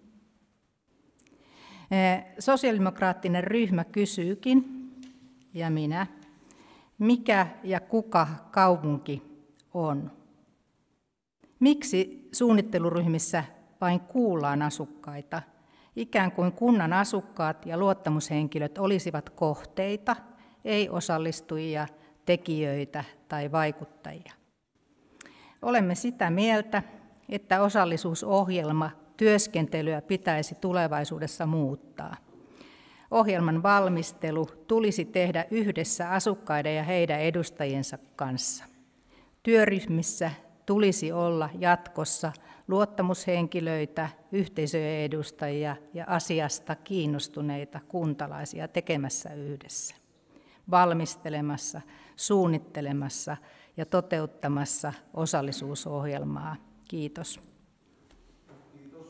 Ja seuraavaksi valtuutettu Leena Lyytinen valmistautuu valtuutettu Essi Rantanen. Kiitos arvoisa puheenjohtaja, hyvät valtuutetut. Vihreän valtuustoryhmän puolesta kiitos viranhaltijoille hyvin monipuolisesta työstä osallisuuden parantamiseksi Jyväskylässä. Ja kiitos ennen muuta aidosta halusta vahvistaa jyväskyläläisten hyvinvointia ja vaikutusmahdollisuuksia ihan aina sieltä lapsuudesta elämän kaaren päähän asti. Osallisuusohjelman avulla työ ja tahtotila tulee näkyväksi. Osallisuus toteutuu kaikkein parhaiten rakenteiden sisällä, osana elämää. Osallisuutta voi olla esimerkiksi se, että lapset pääsevät varhaiskasvatus- tai koulupäivän aikana suunnittelemaan päiväkoteja, kouluja, leikkipuistoja, ja tuo työ näkyy siellä lopputuloksessa. Osallisuutta on myös se, että ikäihmisten palveluiden suunnittelu tapahtuu heidän kanssaan ja muotoutuu heidän tarpeitaan vastaavaksi. Ja osallisuutta on myös se, että kaupunkilaiset pääsevät lausumaan näkemyksensä kaavaprosesseissa ja nuo näkemykset otetaan huomioon jatkovalmistelussa. Osallisuutta on myös se, että annetaan ääni vaaleissa eikä sen kummemmin haluta enää vaikuttaa, ehkä. Eli myös se passiivinen läsnäolo voi olla osallisuutta. Ja näitä näkökulmia on huomioitu aivan mainiosti tuossa ohjelmassa. Eri elämänvaiheissa me ihmiset kaivataan erilaisia vaikuttamismahdollisuuksia, ja kaupungin tehtävänä on tarjota tuo paletti esteettömästi kaikille. Vihreän valtuustoryhmän mielestä kaupungin verkkosivut vastaavat kyllä tähän tarpeeseen, mutta niitä tulee kehittää toimivampaan suuntaan. Sivulla voisi esimerkiksi olla kootusti esillä kaikki kaupungissa avoinna olevat kyselyt, selkeät ohjeet eri vaikutustavoista ja kanavista sekä yhteystiedot suoraan niihin. Osallisuuden tulee olla ihan parin klikkauksen päässä. Ja vielä lopuksi haluan painottaa vaikutusten ennakkoarvioinnin merkitystä päätöksenteossa. Myös tämä työkalu on nostettu tuossa ohjelmassa esiin, ja hyvä niin. Vaikutusten ennakkoarviointi on prosessi, jossa asioita tutkitaan ja niihin vaikutetaan etukäteen. Osallisuutta siis parhaimmillaan. Esimerkiksi viime valtuustokaudella teetettiin useampia ansiokkaita lapsivaikutusten arviointeja, ja nämä antoi meille äärimmäisen tärkeää tietoa päätöksenteon tueksi. Näissä prosesseissa lapset ja vanhemmat pääsevät konkreettisesti ja etupainotteisesti vaikuttamaan heitä koskeviin päätöksiin. Osallisuus toteutui siten mitä parhaimmalla tavalla ja tuli myös aidosti näkyväksi meille valtuutetuille. Tästä on hyvä jatkaa työtä entistä osallistavamman ja toimivamman Jyväskylän eteen. Kiitos. Kiitos. Ja seuraavaksi valtuutettu Essi Rantanen valmistautuu varavaltuutettu Petri Laakson. Arvoisa puheenjohtaja, hyvät valtuutetut. Kiitos oikein hyvästä osallisuusohjelmasta ja kiitos myös hyvistä edellisistä puheenvuoroista. Tiedän, että siellä osallisuuspalveluissa odotetaan lykkääntyneen ohjelman hyväksymistä, jotta päästään todenteolla työstämään ohjelmaan kirjattuja asioita. Valtuustossa viime aikoina käsitellyt ohjelmat on täynnä kuntalaisten hyvinvointia ja terveyttä edistäviä asioita. Ikäystävällinen Jyväskylä, yhdenvertainen ja esteetön Jyväskylä, osallisuuteen panostava Jyväskylä, hyvinvoiva Jyväskylä, paljon hyviä ohjelmia, suunnitelmia ja tavoitteita – nyt kun meillä on monta hyvinvointia hieman eri näkökulmista tukevia ohjelmia, olisi erittäin tärkeää varmistaa riittävät resurssit ja koordinoitu yhteistyö yli palvelualojen. Tarvitaan hytetyölle johto, jolla on läpileikkaavan hyvinvoinnin ja terveyden edistämisen työn seuranta, arviointi ja koordinointivastuu. Ohjelmat olisi tärkeää yhtenäistää kaupungin sisäisesti niin, ettei niitä valmisteltaisi siiloissa, vaan saataisiin tarvittava tieto ja osaaminen yhdistettyä – Hytejohto tukisi yhteistä tapaa hahmottaa hyvinvoinnin ja terveyden edistämistyötä, johon myös osallisuustyö kuuluu. Ohjelmien toimeenpanoon tarvitaan myös lisäresursseja, jotta suunnitelmiin kirjattuja hyvinvointia ja terveyttä edistäviä ja palvelualueen rajat ylittäviä töitä voidaan aidosti toteuttaa sote-uudistuksen jälkeisessä Jyväskylässä. Osallisuus on erinomainen esimerkki läpileikkaavasta hyvinvoinnin ja terveyden edistämisen työstä, Osallisuus merkitsee mukanaoloa, vaikuttamista, huolenpitoa ja yhteisesti rakennetuista hyvinvoinnista osalliseksi pääsemistä. Paremman koordinoinnin ja johtamisen avulla voitaisiin hyödyntää esimerkiksi yhdenvertaisuuden parissa tehtävää työtä myös osallisuuden edistämisessä. Tarvitaan henkilökunnan koulutusta, yhteistä ymmärrystä siitä, mitä osallisuudella tarkoitetaan, seurantaa ja arviointia sekä tietysti riittäviä resursseja käytännön työhön, Toivon, että osallisuusohjelman hyviin tavoitteisiin päästään. Kiitos.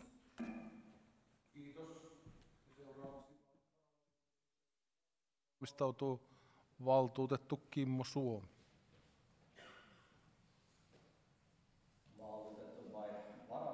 siitä tiedon. Hyvä puheenjohtaja, arvon valtuutetut sekä muut kuulijat. Kokoomuksen valtuustoryhmä kiittää valmistelijoita laadukkaasta ja monipuolista valmistelusta. Osallisuusohjelman tavoitteet ovat erityisen tärkeitä, jotta jyväskyläläiset kokisivat Jyväskylän omakseen. Osallisuusohjelman visio yhteisessä Jyväskylässä kaikilla on oma tapa osallistua ja vaikuttaa, tukee tätä tavoitetta. Toivottavasti olemme kaikki kehittyneet tässä ohjelman loppupuolella, eli tämän valtuustokauden ehtoopuolella. Haluamme ryhmänä kiittää erityisesti monipuolisen mittariston laatimisesta, mikä mahdollistaa ohjelman toimivuuden tarkastelemista. Osallistuva budjetointi on tervetullut lisä päätöksenteon tueksi 50-60 joukkorahoituksen lisäksi. Myös vuosittainen suunnitelma panostuksen kohteesta on toivottava, jotta mahdollisiin muutoksiin ja havaintoihin voidaan reagoida. Vuosittaisissa tarkasteluissa on myös hyvä juhlistaa mahdollisia onnistumisia sekä kiinnittää katse kehitystä vaativiin asioihin. Kun osallisuusryhmän vuoden suunnitelma sekä toteumaa esitellään johtoryhmälle, on myös hyvä tarkastella mittariston toimivuutta. Osana hyvinvointisuunnitelmaa osallisuusohjelma tulee varmasti tukemaan niin asukkaita kuin päättäjä osallistavampiin toimintatapoihin. Ohjelman loppuvaiheessa on sen vaikutuksia tarkasteltava laaditun mittariston keinoin. Samalla on hyvä hetki miettiä osallisuuden seuraavia askelia Jyväskylässä. Olemme tässä valtuustosalissa käsitelleet lukuisia ohjelmia, kuten aiemmin jo mainittiin, tällä kuluneella valtuustokaudella. Kaikkien käsiteltyjen ja hyväksyttyjen ohjelmien muodostama kokonaisuus voi kuitenkin olla ongelmallinen. Laadittujen ohjelmien keskinäistä roolia tuleekin tarkastella ennen valtuustokauden päättymistä. Me kokoomuksessa emme halua, että osallisuusohjelma jäisi yhdeksi ohjelmaksi pölyttymään päätöksenteon pöytälaatikkoon. Sekä virkahenkilöstön että valtuutettujen osallistuminen esimerkiksi asuinalueiltoihin on koettu monen kuntalaisen toimesta merkittäväksi. Kuntalaisten palautteet vaikuttamiskanavista ovat pääosin positiivisia, jolloin kuntalainen kokee saavansa vastauksen ja tulleensa kohdatuksi. Kuitenkin osallistumisen mahdollisuuksia tulee kehittää, jottei tilaisuuksien osallistujamäärät jäisi vähäiseksi. Samaisesta syystä tietoisuutta olemassa olevista raadeista ja neuvostoista kuntalaisille tulee kehittää. Kaupungin palautepalvelun ulkaisua voisi myös selkeyttää, jotta kuntalaisilla olisi mielekästä antaa palautetta. Lopuksi, kuten ohjelmassa mainitaan, on tärkeää, että asukkaat kokevat yhteisöllisyyttä ja ovat aktiivisia oman ympäristönsä kehittämisessä. Tämän me kaikki tässä valtuustoryhmässä, valtuustosalissa olevat varmasti allekirjoitamme. Kokoomuksen valtuustoryhmä esittääkin, että osallisuusohjelma hyväksytään muutoksitta vuosille 2022-2025. Kiitos.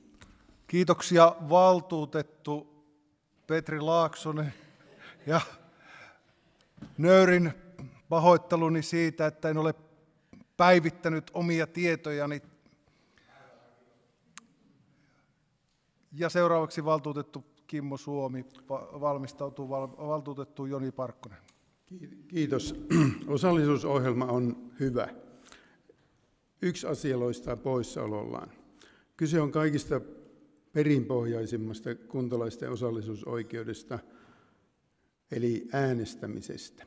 Äänestämisestä puhutaan kahdessa lauseessa, ja niitä ei kuitenkaan pidetä tavoitteena, vaan ennemminkin mittareina. Luulisi, että alhainen äänestysprosentti kuntavaaleissa kirvoittaisi kielen kannat valtuustossa kokouksesta toiseen. Toivoisi, että äänestäminen olisi kuntastrateginen kysymys. Ja ajatellaan vaikka puolueita. Esimerkiksi SDPn tai kokoomuksen ääniosuudeksi mainitaan vaaleissa prosenttilukuja, jotka ovat jopa 20 prosentin tuntumassa. Jos tämä katsotaan äänioikeutetuista, ei Jyväskyläläisistä äänioikeutetuista äänestä 19 prosenttia demareista, vaan demareita vain noin puolet siitä. Ja pienimmillä puolueilla tietenkin tämä on paljon pienempi tämä, tämä kannatus. Jotenkin luulisi, että kaupungin osallisuusohjelmaa olisi otettu yhdeksi tavoitteeksi äänestäminen. Mistä alhainen äänestäminen johtuu? Kuka ei varmaan pysty siinä viisasten kiveen löytämään. Kunnallisalan kehittämissäätiö näkee yhdeksi keskeisimmäksi se, että niin julkilausutut ilmi niin, tavoitteet kunnalla – ja sitten se koettu todellisuus eivät kohtaa. Ja aikaisemmin esimerkiksi alhainen ikä, huono koulutus, heikko ammattistatus, alhaiset tulot nähtiin syiksi äänestämättömyyteen, ja niihin ei sen takia ole kunnissa, esimerkiksi kuntaorganisaatiossa puututtu, koska on ajateltu, että ne on sellaisia megatrendejä, johon ei oikein kunnan keinoin voi vaikuttaa. Mutta varsinkin nyt, kun äänestämättömyys on lisääntynyt myös koulutetun väestön keskuudessa. Esimerkiksi Helsingissä on oma ohjelma siihen, että äänestysprosenttia voitaisiin lisätä. Ja meillähän on niin kuin heikoimmat siinä 40-50 prosentin välissä niin kuin heikoimmat äänestysalueet. Jos vain puolet äänestää, ei se anna hyvää kuvaa osallisuusdemokratian tilasta. Äänestämättömyys on myös kannanotto. Ja kyllä Jyväskylässäkin voitaisiin tällaista ohjelmaa tai hanketta ajatella osana osallisuutta ja saada sillä tavalla ihmisiä enemmän äänestämään. Ka- kaupungin äänestysosallisuuden tavoitteeksi olisi saatava ei tunnettu kannanotto, älä alistu, älä äänestä, vaan älä alistu, äänestä. Ja seuraavaksi valtuutettu Joni Parkkonen ja valmistautuu kaupunginhallituksen jäsen Arto Lampila. Anteeksi. Ja kommentti valtuutettu Sinuhe Wallinheimo. Pahoittelut.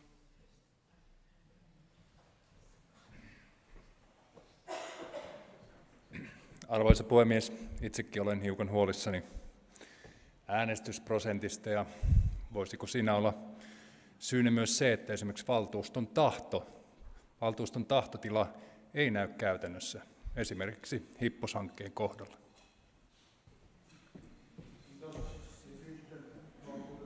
Parkkonen ja valmistautuu kaupunginhallituksen jäsen Arto Lampila. Arvoisa puheenjohtaja, hyvät valtuutetut. Ihmisten osallistaminen kunnan toimintaan ja erityisesti sen päätöksentekoprosesseihin on demokratian kannalta tärkeää. Kaikki osallistamiseen tähtävät toimet eivät kuitenkaan ole lakiin perustuvia, vaan kuten Kuntaliiton sivulla sanotaan, osa niistä on kuntien itsensä kehittämiä ja vapaaehtoisesti toteuttamia. Raja näiden kahden, eli lakisääteisten ja vapaaehtoisten osallistamistoimien välillä, olisikin hyvä pitää selvänä. On nimittäin vaara, että tämänkaltaiset ohjelmat paisuvat mammuttimaisiksi rakenteiksi, joihin uppoaa tarpeettoman paljon resursseja niistä saataviin hyötyihin nähden. Kuntaliitto ohjeistaakin kirjaamaan osallisuuden johtamisen yhdeksi työkaluksi resurssoinnin. Tämän nyt päätettävänä olevan osallisuusohjelman toteuttamisen vaatimista taloudellisista resursseista ei kuitenkaan ole annettu meille päätöksentekijöille riittävästi tietoa. Osallisuusohjelman sivulla neljä sanotaan, että kaupungin kulttuuri- ja osallisuuspalveluissa on yhdeksän osallisuutta koordinoivaa työntekijää. Sivulla yhdeksän kerrotaan, että heidän lisäkseen jokaisella toimialalla on niin sanotut osallisuustiimit, jotka ovat oman toimialansa osallisuusasioiden kehitysverkostoja. Näiden osallisuustiimien lisäksi Palveluyksiköissä voi olla työryhmiä tai tiimejä, joiden tehtävänä on edistää osallisuutta omissa palveluissa. Näiden lisäksi on vielä osallisuuteen liittyvä viestintä. Nyt olisi hyvä tietää, kuinka paljon henkilötyövuosia tarvitaan tämän osallisuusohjelman pyörittämiseen ja mikä on ohjelman kokonaisbudjetti. Lisäksi meidän tulisi tietää se, mikä osuus budjetista menee lakisääteisiin ja mikä osuus vapaaehtoisiin osallistamistoimiin. Silloin voisimme, jos tarve niin vaatii, pakollisia säästökohteita etsiessämme kohdentaa niitä sellaisiin palveluihin, jotka eivät ole lakisääteisiä. On merkille pantavaa, että osallisuusohjelman tavoitteisiin on kirjattu kartoittaa osallistuvan budjetoinnin mahdollisuutta. Mielestäni lähtökohta tälle tulisi olla se, että valtuusto osallistettaisiin tämänkaltaisten ohjelmien budjetointiin antamalla ohjelman toteuttamisen vaatimista euromääräisistä resursseista riittävästi tietoa. Silloin päätöksenteko asiakoskien helpottuisi ja päätöksenteon laatu paranisi myös kaupungin talouden näkökulmasta. Nyt esimerkiksi tämän ohjelman vaikutus kaupungin talouteen jää melko lailla hämärän peittoon. Herääkin kysymys, onko ohjelman toteuttamisen todellisia kustannuksia kukaan vielä edes tarkkaan selvittänyt. Ja tähän toivoisin viranhaltijoilta nyt vastausta. Kiitos. Kiitos. Ja seuraavaksi valtuutettu Rosa Heikkinen valmistautuu valtuutettu Sirkku Anteeksi, tässä oli tämä Arto Lampila, kaupunginhallituksen edu, öö, jäsenen Arto Lampilan puheenvuoro ja valmistautuu valtuutettu Rosa Heikkinen. Ole hyvä, Arto Lampila. puheenjohtaja. Demokratian kannalta yksi aivan tärkeimmistä asioista on, että ihmiset kokevat voimansa vaikuttaa heitä ja heidän läheisiään koskeviin asioihin. Kuntalain pykälä 22 velvoittaa valtuuston pitämään huolta kuntalaisten monipuolisista ja vaikuttavista osallistumisen ja vaikuttamisen mahdollisuuksista ja menetelmistä. Toivon, että jatkossa pystymme kiinnittämään yhä enemmän huomiota lakitekstin sanaan vaikuttavat. Harva asia on nimittäin niin turhauttavaa ja vaikuttamisintoa ja aktiivisuutta latistavaa kuin se, että annettuun palautteeseen, ideoihin, huoliin tai kehittämiskohteisiin vastataan hiljaisuudella tai asia katoaa koneistoon, etkä voi tietää, miten asia etenee, jos etenee. Tehdään asukkaiden ja yhteisöiden aktiivisuudesta ja innosta rakentaa parempaa Jyväskylää yhteistyössä virkahenkilöstön ja luottamushenkilöiden kanssa entistä näkyvämpää. Kootaan tieto erilaisista palautteista, aloitteista, kehittämisideoista ja niihin annetuista vastauksista ja mahdollisesti seuranneista toimenpiteistä helposti salattavaan muotoon. Yhtä lailla on tärkeää koota entistä selkeämpään ja helpommin seurattavaan muotoon kaikkea sitä valmistelua ja kehittämistyötä, jota kaupunkiorganisaation eri lokeroissa tapahtuu. Koska mitenpä osaat ottaa kantaa tai vaikuttaa oikea-aikaisesti, jos et tiedä, mitä on tapahtumassa. Tietenkään kaikki palaute ja kaikki aloitteet eivät ole sellaisia, että ne johtavat toimenpiteisiin. Se ei ole fiksua, eikä se olisi edes mahdollista. Mutta palautteen tai ideoiden antajat ansaitsevat kyllä vastauksen ja perustelut sille, miksi toimenpiteisiin ei ryhdytä.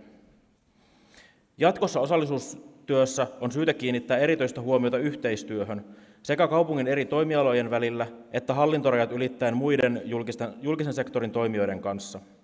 Ei ole kohtuullista olettaa, että asukkaat ja alueella toimivat yhteisöt tietävät tai itse selvittävät, kuuluuko jokin yksityiskohta kunnan, hyvinvointialueen, aluehallintoviraston vai elykeskuksen vastuulle, eikä ihmisiä tule pompotella ideoideen, ideoineen näiden eri toimijoiden välillä, vaan rakentaa yhteisiä osallisuusrakenteita siten, että osallistuminen yhteisiin asioihin vaikuttamiseen on helppoa.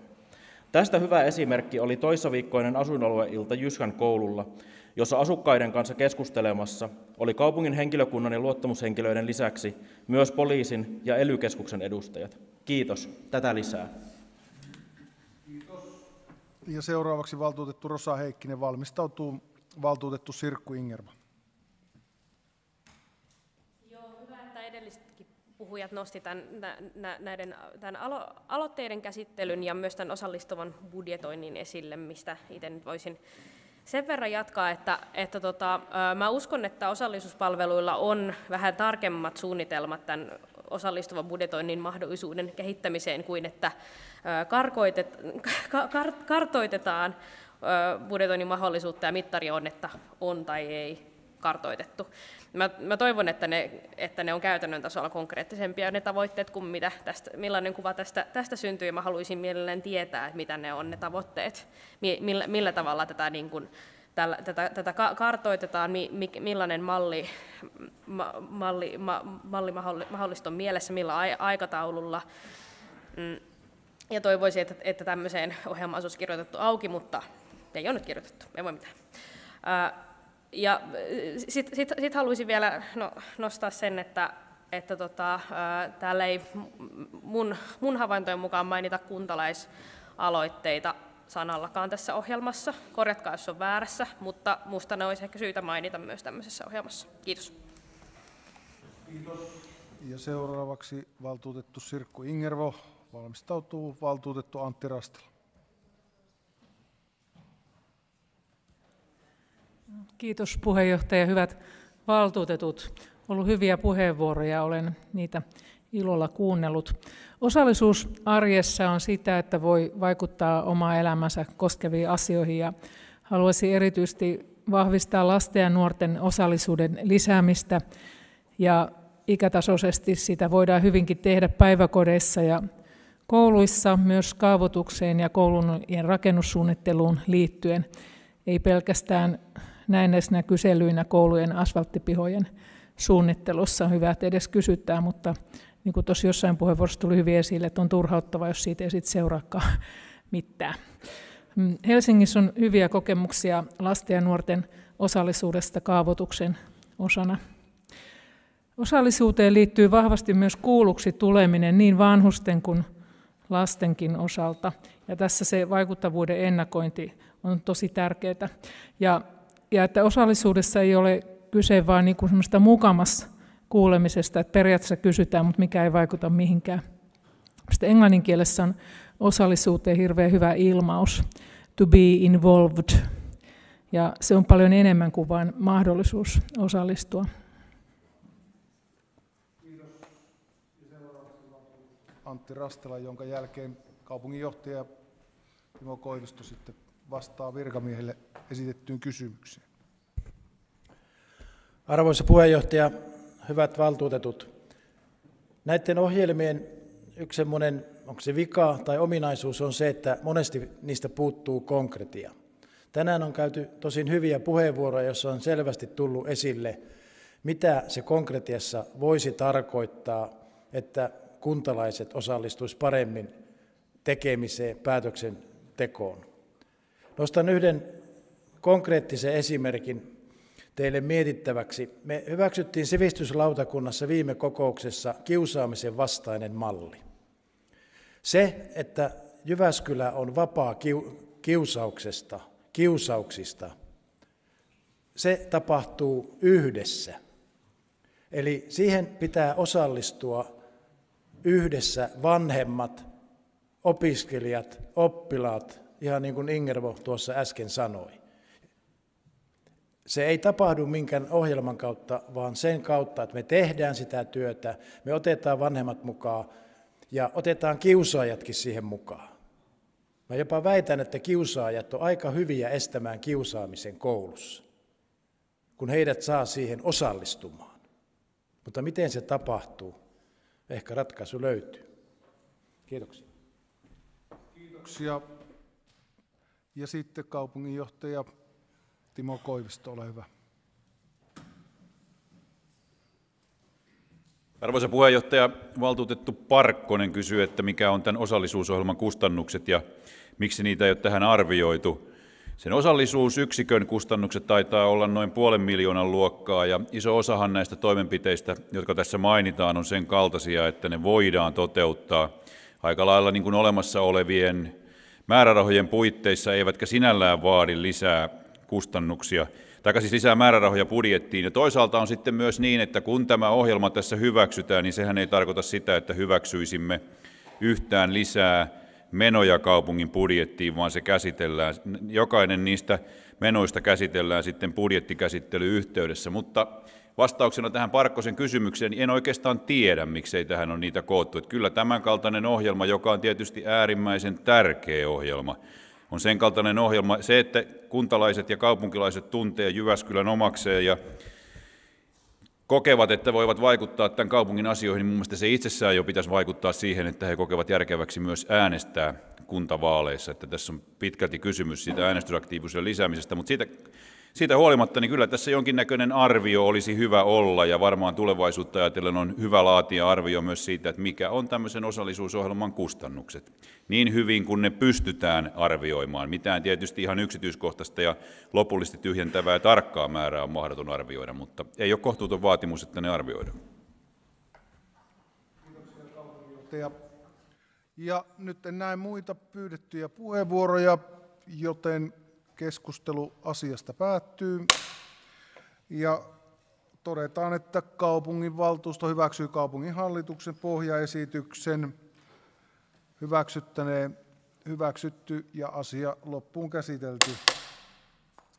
Näin olemme käsitelleet valtuuston kokouksen varsinaiset asiat ja todetaan, että kokouksessa ei ollut yhtään uutta valtuustoaloitetta käsittelyssä. Kaupunginvaltuuston työskentelyn arviota, arviointia koskevaan kyselyyn on vastannut nyt tällä hetkellä 23, eli kaksi valtuutettua on jo kerennyt tämän kokouksen aikana hoitaa velvoitteensa, joten muistutan vielä, että huomiseen mennessä mahdollisimman moni tähän vastaisi. Nyt on siis vastausprosentti suurin piirtein 30. Näytetään esimerkkiä kaupunkilaisille ja kuntalaisille siitä, että miten me vaikutamme, miten me osallistumme. Näin ollen kokous on päättynyt ja siirrytään sitten kokouksen jälkeiseen valtuustokysymykseen. Eli valtuutettu Ari Laitinen on tehnyt valtuuston työjärjestyksen 38. pykälän mukaisen valtuustokysymyksen koskien liikuntarakentamisen budjettikuria ja tähän vastaa kaupunginjohtaja Timo Koivisto. Valtuutettu Ari Laitinen, ole hyvä.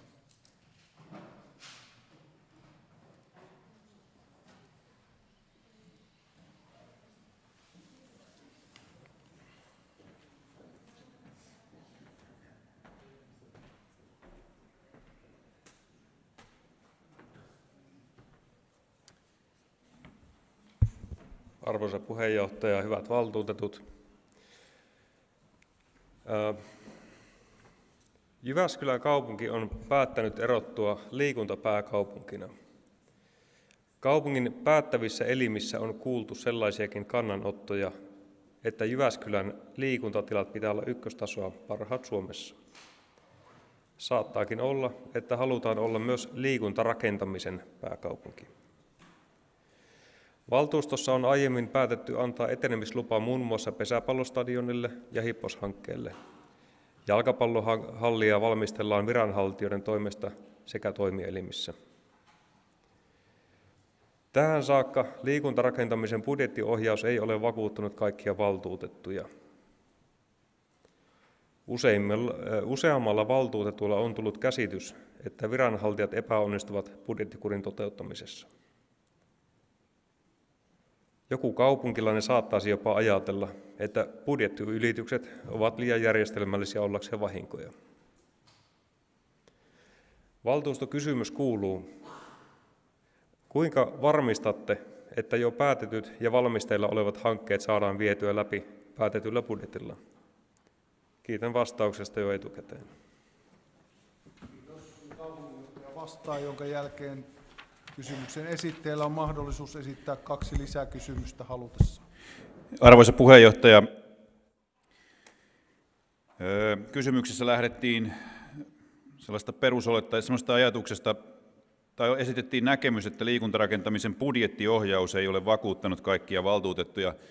Joudun tässä vähän spekuloimaan, mutta arvioisin, että tässä voi olla taustalla tämä meidän pesäpallostadion prosessi, joka kieltämättä nyt ei mennyt tämän normaalin hankesuunnittelun ja budjettikäsittelyn näkökulmasta ihan parhaalla mahdollisella tavalla johtuen siitä, että, että se aikatauluikkuna oli silloin niin lyhyt, että jouduttiin etenemään ilman kunnollista hankesuunnitelmaa ja valtuusto teki päätöksen, oliko se reilun neljän miljoonan euro hankkeesta. Ja sitten kun tehtiin se varsinaisen hankesuunnitelmaan perustunut päätös, niin sekin sitten erilaista syistä, erityisesti rakennuskustannusten nousun, Ukrainan kriisin kriisiinkin liittyen takia jouduttiin tekemään vielä uudestaan. Mutta se tapa, jolla tietysti noin yleisesti ottaen varmistamme sen, että meidän liikuntahankkeet, jotka mun käsityksen mukaan kyllä hyvin, niin kuin ylipäätään kaikki kaupungin rakentamishankkeet varsin kohtuullisen hyvin pysyy päätetyissä budjeteissa, on se, että, että tehdään hyvä hankesuunnitelma, se kilpailutetaan ja sitten pysytään niissä määräraha-arvioissa, jotka tässä – salissa päätetään. Jos ei pysytä, niin tullaan tänne takaisin ja, ja tota, katsotaan, että, että voiko sen hankesuunnitelman tai voiko sen budjettipäätöksen muuttaa ja, ja antaako siihen kaupunginvaltuustolinjat. Ei meidän liikuntapaikkarakentamisen ö, budjettimenettelyt ja hankesuunnitelmat siinä mielessä kyllä poikkea mistään meidän muistakaan rakentamishankkeista. Sitten tietysti on eri asia se, että meillä on erilaisia kustannuksia – budjetin siinä investointisuunnitelmaosiossa tulevalle, tuleville vuosille, mutta nehän eivät ole mitään sitovia budjettipäätöksiä, vaan niiden osalta sitten ne numerot täsmentyy, kun saadaan kunnon projektisuunnitelma, jonka perusteella voidaan kustannukset tarkemmin laskea. Se, että pitäisikö ne jo alun perin olla tarkemmin laskettuja ja pitäisikö niiden niin kuin suunnittaa siinä budjettisuunnitelmassa – investointisuunnitelmassa olevien määrärahojen perustua tarkempaan hankesuunnitteluun, niin se on siinä mielessä vähän hankala, että, että se on sellainen hankesuunnitelma maksaa kymmeniä, jos ei satoja tuhansia euroja, ja, ja sellaisen teettäminen siinä vaiheessa, kun ei ole vielä sitä varmuutta se hankkeen eteenpäin viemisestä, niin ei välttämättä ole kauhean järkevää. Mutta totta kai näissä on aina parantamisen varaa, mutta en mä nyt näe, että meidän liikuntapaikkarakentamisen menetelmät tai lopputulemat poikkeis meidän muusta rakentamisesta, lukuun ottamatta ehkä tätä pesäpallostadion hanketta, jossa aikataulu loi tietyn tämmöisen ongelmallisen asetelman. Mutta siinäkin tietysti tärkeintä on, että se tarvittava pesäpallon olosuhde on sinne rakentumassa. Ja sitten valtuutettu Laitisella on mahdollisuus esittää kaksi lisää kysymystä.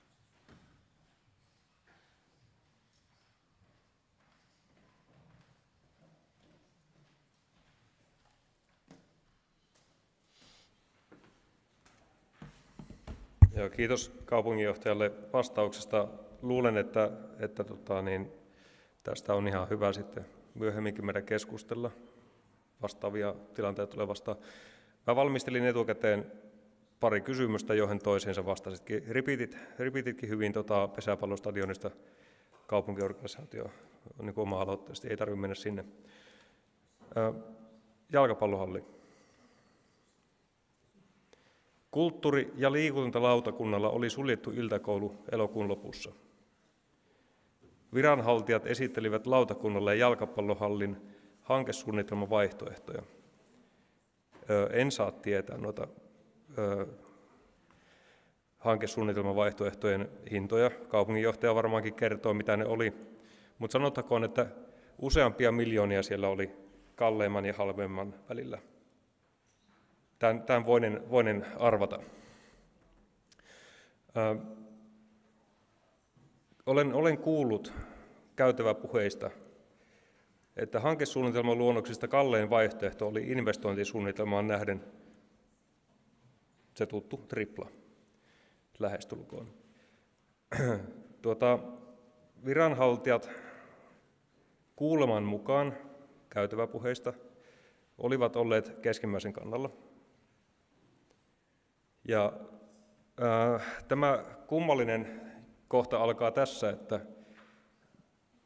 kun lautakunta oli elokuussa jäänyt käsityksen, että nämä kolme on vaihtoehtoja, niin viime viikolla viranhaltijat oli lähettäneet oman suosikkiesityksensä kaupunginhallitukselle suoraan, ja tämä esitys oli mennyt myös keskisuomalaisille. Ja näinpä siis lautakunnan jäsenet olivat päässeet lukemaan keskisuomalaisesta, että on valittu keskimmäinen vaihtoehto. Siis sen valmisteluvastuussa olevan lautakunnan jäsenet olivat päässeet lukemaan keskisuomalaisesta, että he ovat valinneet, tai kaupunki on valinnut jo keski, keskimmäisen.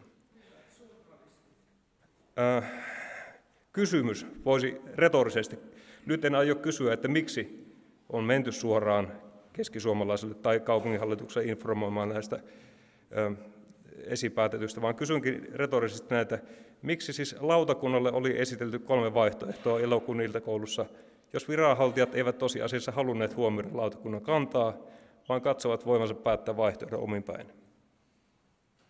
Toivottavasti ollaan kaverita vielä tämän jälkeenkin.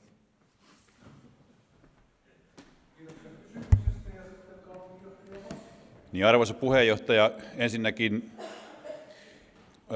valtuutettu Laitinen kysyi tai sanoi, että en saa tietoja näistä suunnitelmista, niin ilman muuta saat ja näistä vaihtoehtoisista laskelmista. Kysyit, että mitä ne ovat ja kaupunginjohtaja voisi tietää tarkemmin. En muista ihan tarkkaan, mutta se keskimmäinen, johon viittasit, niin se oli muistaakseni 17,3 miljoonaa euroa, ainakin suuruusluokka on oikein, ja siitä nimenomaan tiedotettiin. Se tiedottamisessahan kyse on siitä, että kerrottiin, mikä on tämänhetkinen tilanne. Sillä ei kävellä minkään lautakunnan, kaupunginhallituksen tai tämän valtuustosalin päätöksenteon yli, vaan sillä, sillä kerrotaan, mikä on sen hetken tilanne. Muistaakseni tämä prosessi menee niin, että onko se nyt niin, että tilapalvelu kysyy tästä lausunnon kulttuuri- ja liikuntalautakunnalta, ja sinnehän on pakko esittää joku vaihtoehto. Ei voi esittää kolmea eri vaihtoehtoa, kertokaa näistä lausunto. Mutta se joka tapauksessa jättää pelivaran. Lautakunta voi valita ihan minkä tahansa niistä vaihtoehdoista. Se, että siitä tiedotettiin viime perjantaina, niin Mun se ei muuta tätä asetelmaa millään lailla. Tiedot oli, tieto olisi mennyt viimeistään julkisuuteen, kun se lista lähtee, onko se nyt tämän viikon keskiviikko vai torstai, ja siellä on yksi virkamiesvalmistelussa tullut vaihtoehto, joka tässä tapauksessa on se niin sanotusti keskimmäinen, johon Laitinen viittasi. Se ei sido yhtään sen enempää meidän päätöksentekijöiden kantoja, on se kerrottu tiedotteessa viime perjantaina, tai sitten se menee julkisuuteen ilman tiedotetta sen listan mukana. Tilanne on ihan se ja sama. Mutta mun mielestä on järkevää, että tämän mittakaavan hankkeista, joita käsitellään useissa eri toimielimissä, joista, joita on esitelty muun muassa siellä lautakunnassa, kaupunginhallituksessa, lähetettiin tiedot valtuustolle ennen kuin se tiedote meni julkisuuteen, niin sitten niistä tiedotetaan. Mihin me päädytään, niin se on ihan täysin näiden toimielinten ja muun muassa tämän valtuustosalin päätettävissä. Puheenjohtaja, tässä taisi tulla vastaukset näihin kysymyksiin, jos valtuutettu Laitinen esittää lisää, niin sitten vastataan lisää.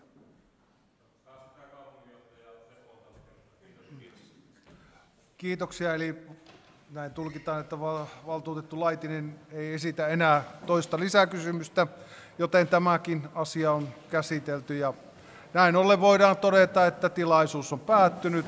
Kiitoksia kaikille ja mukavaa illan jatkoa.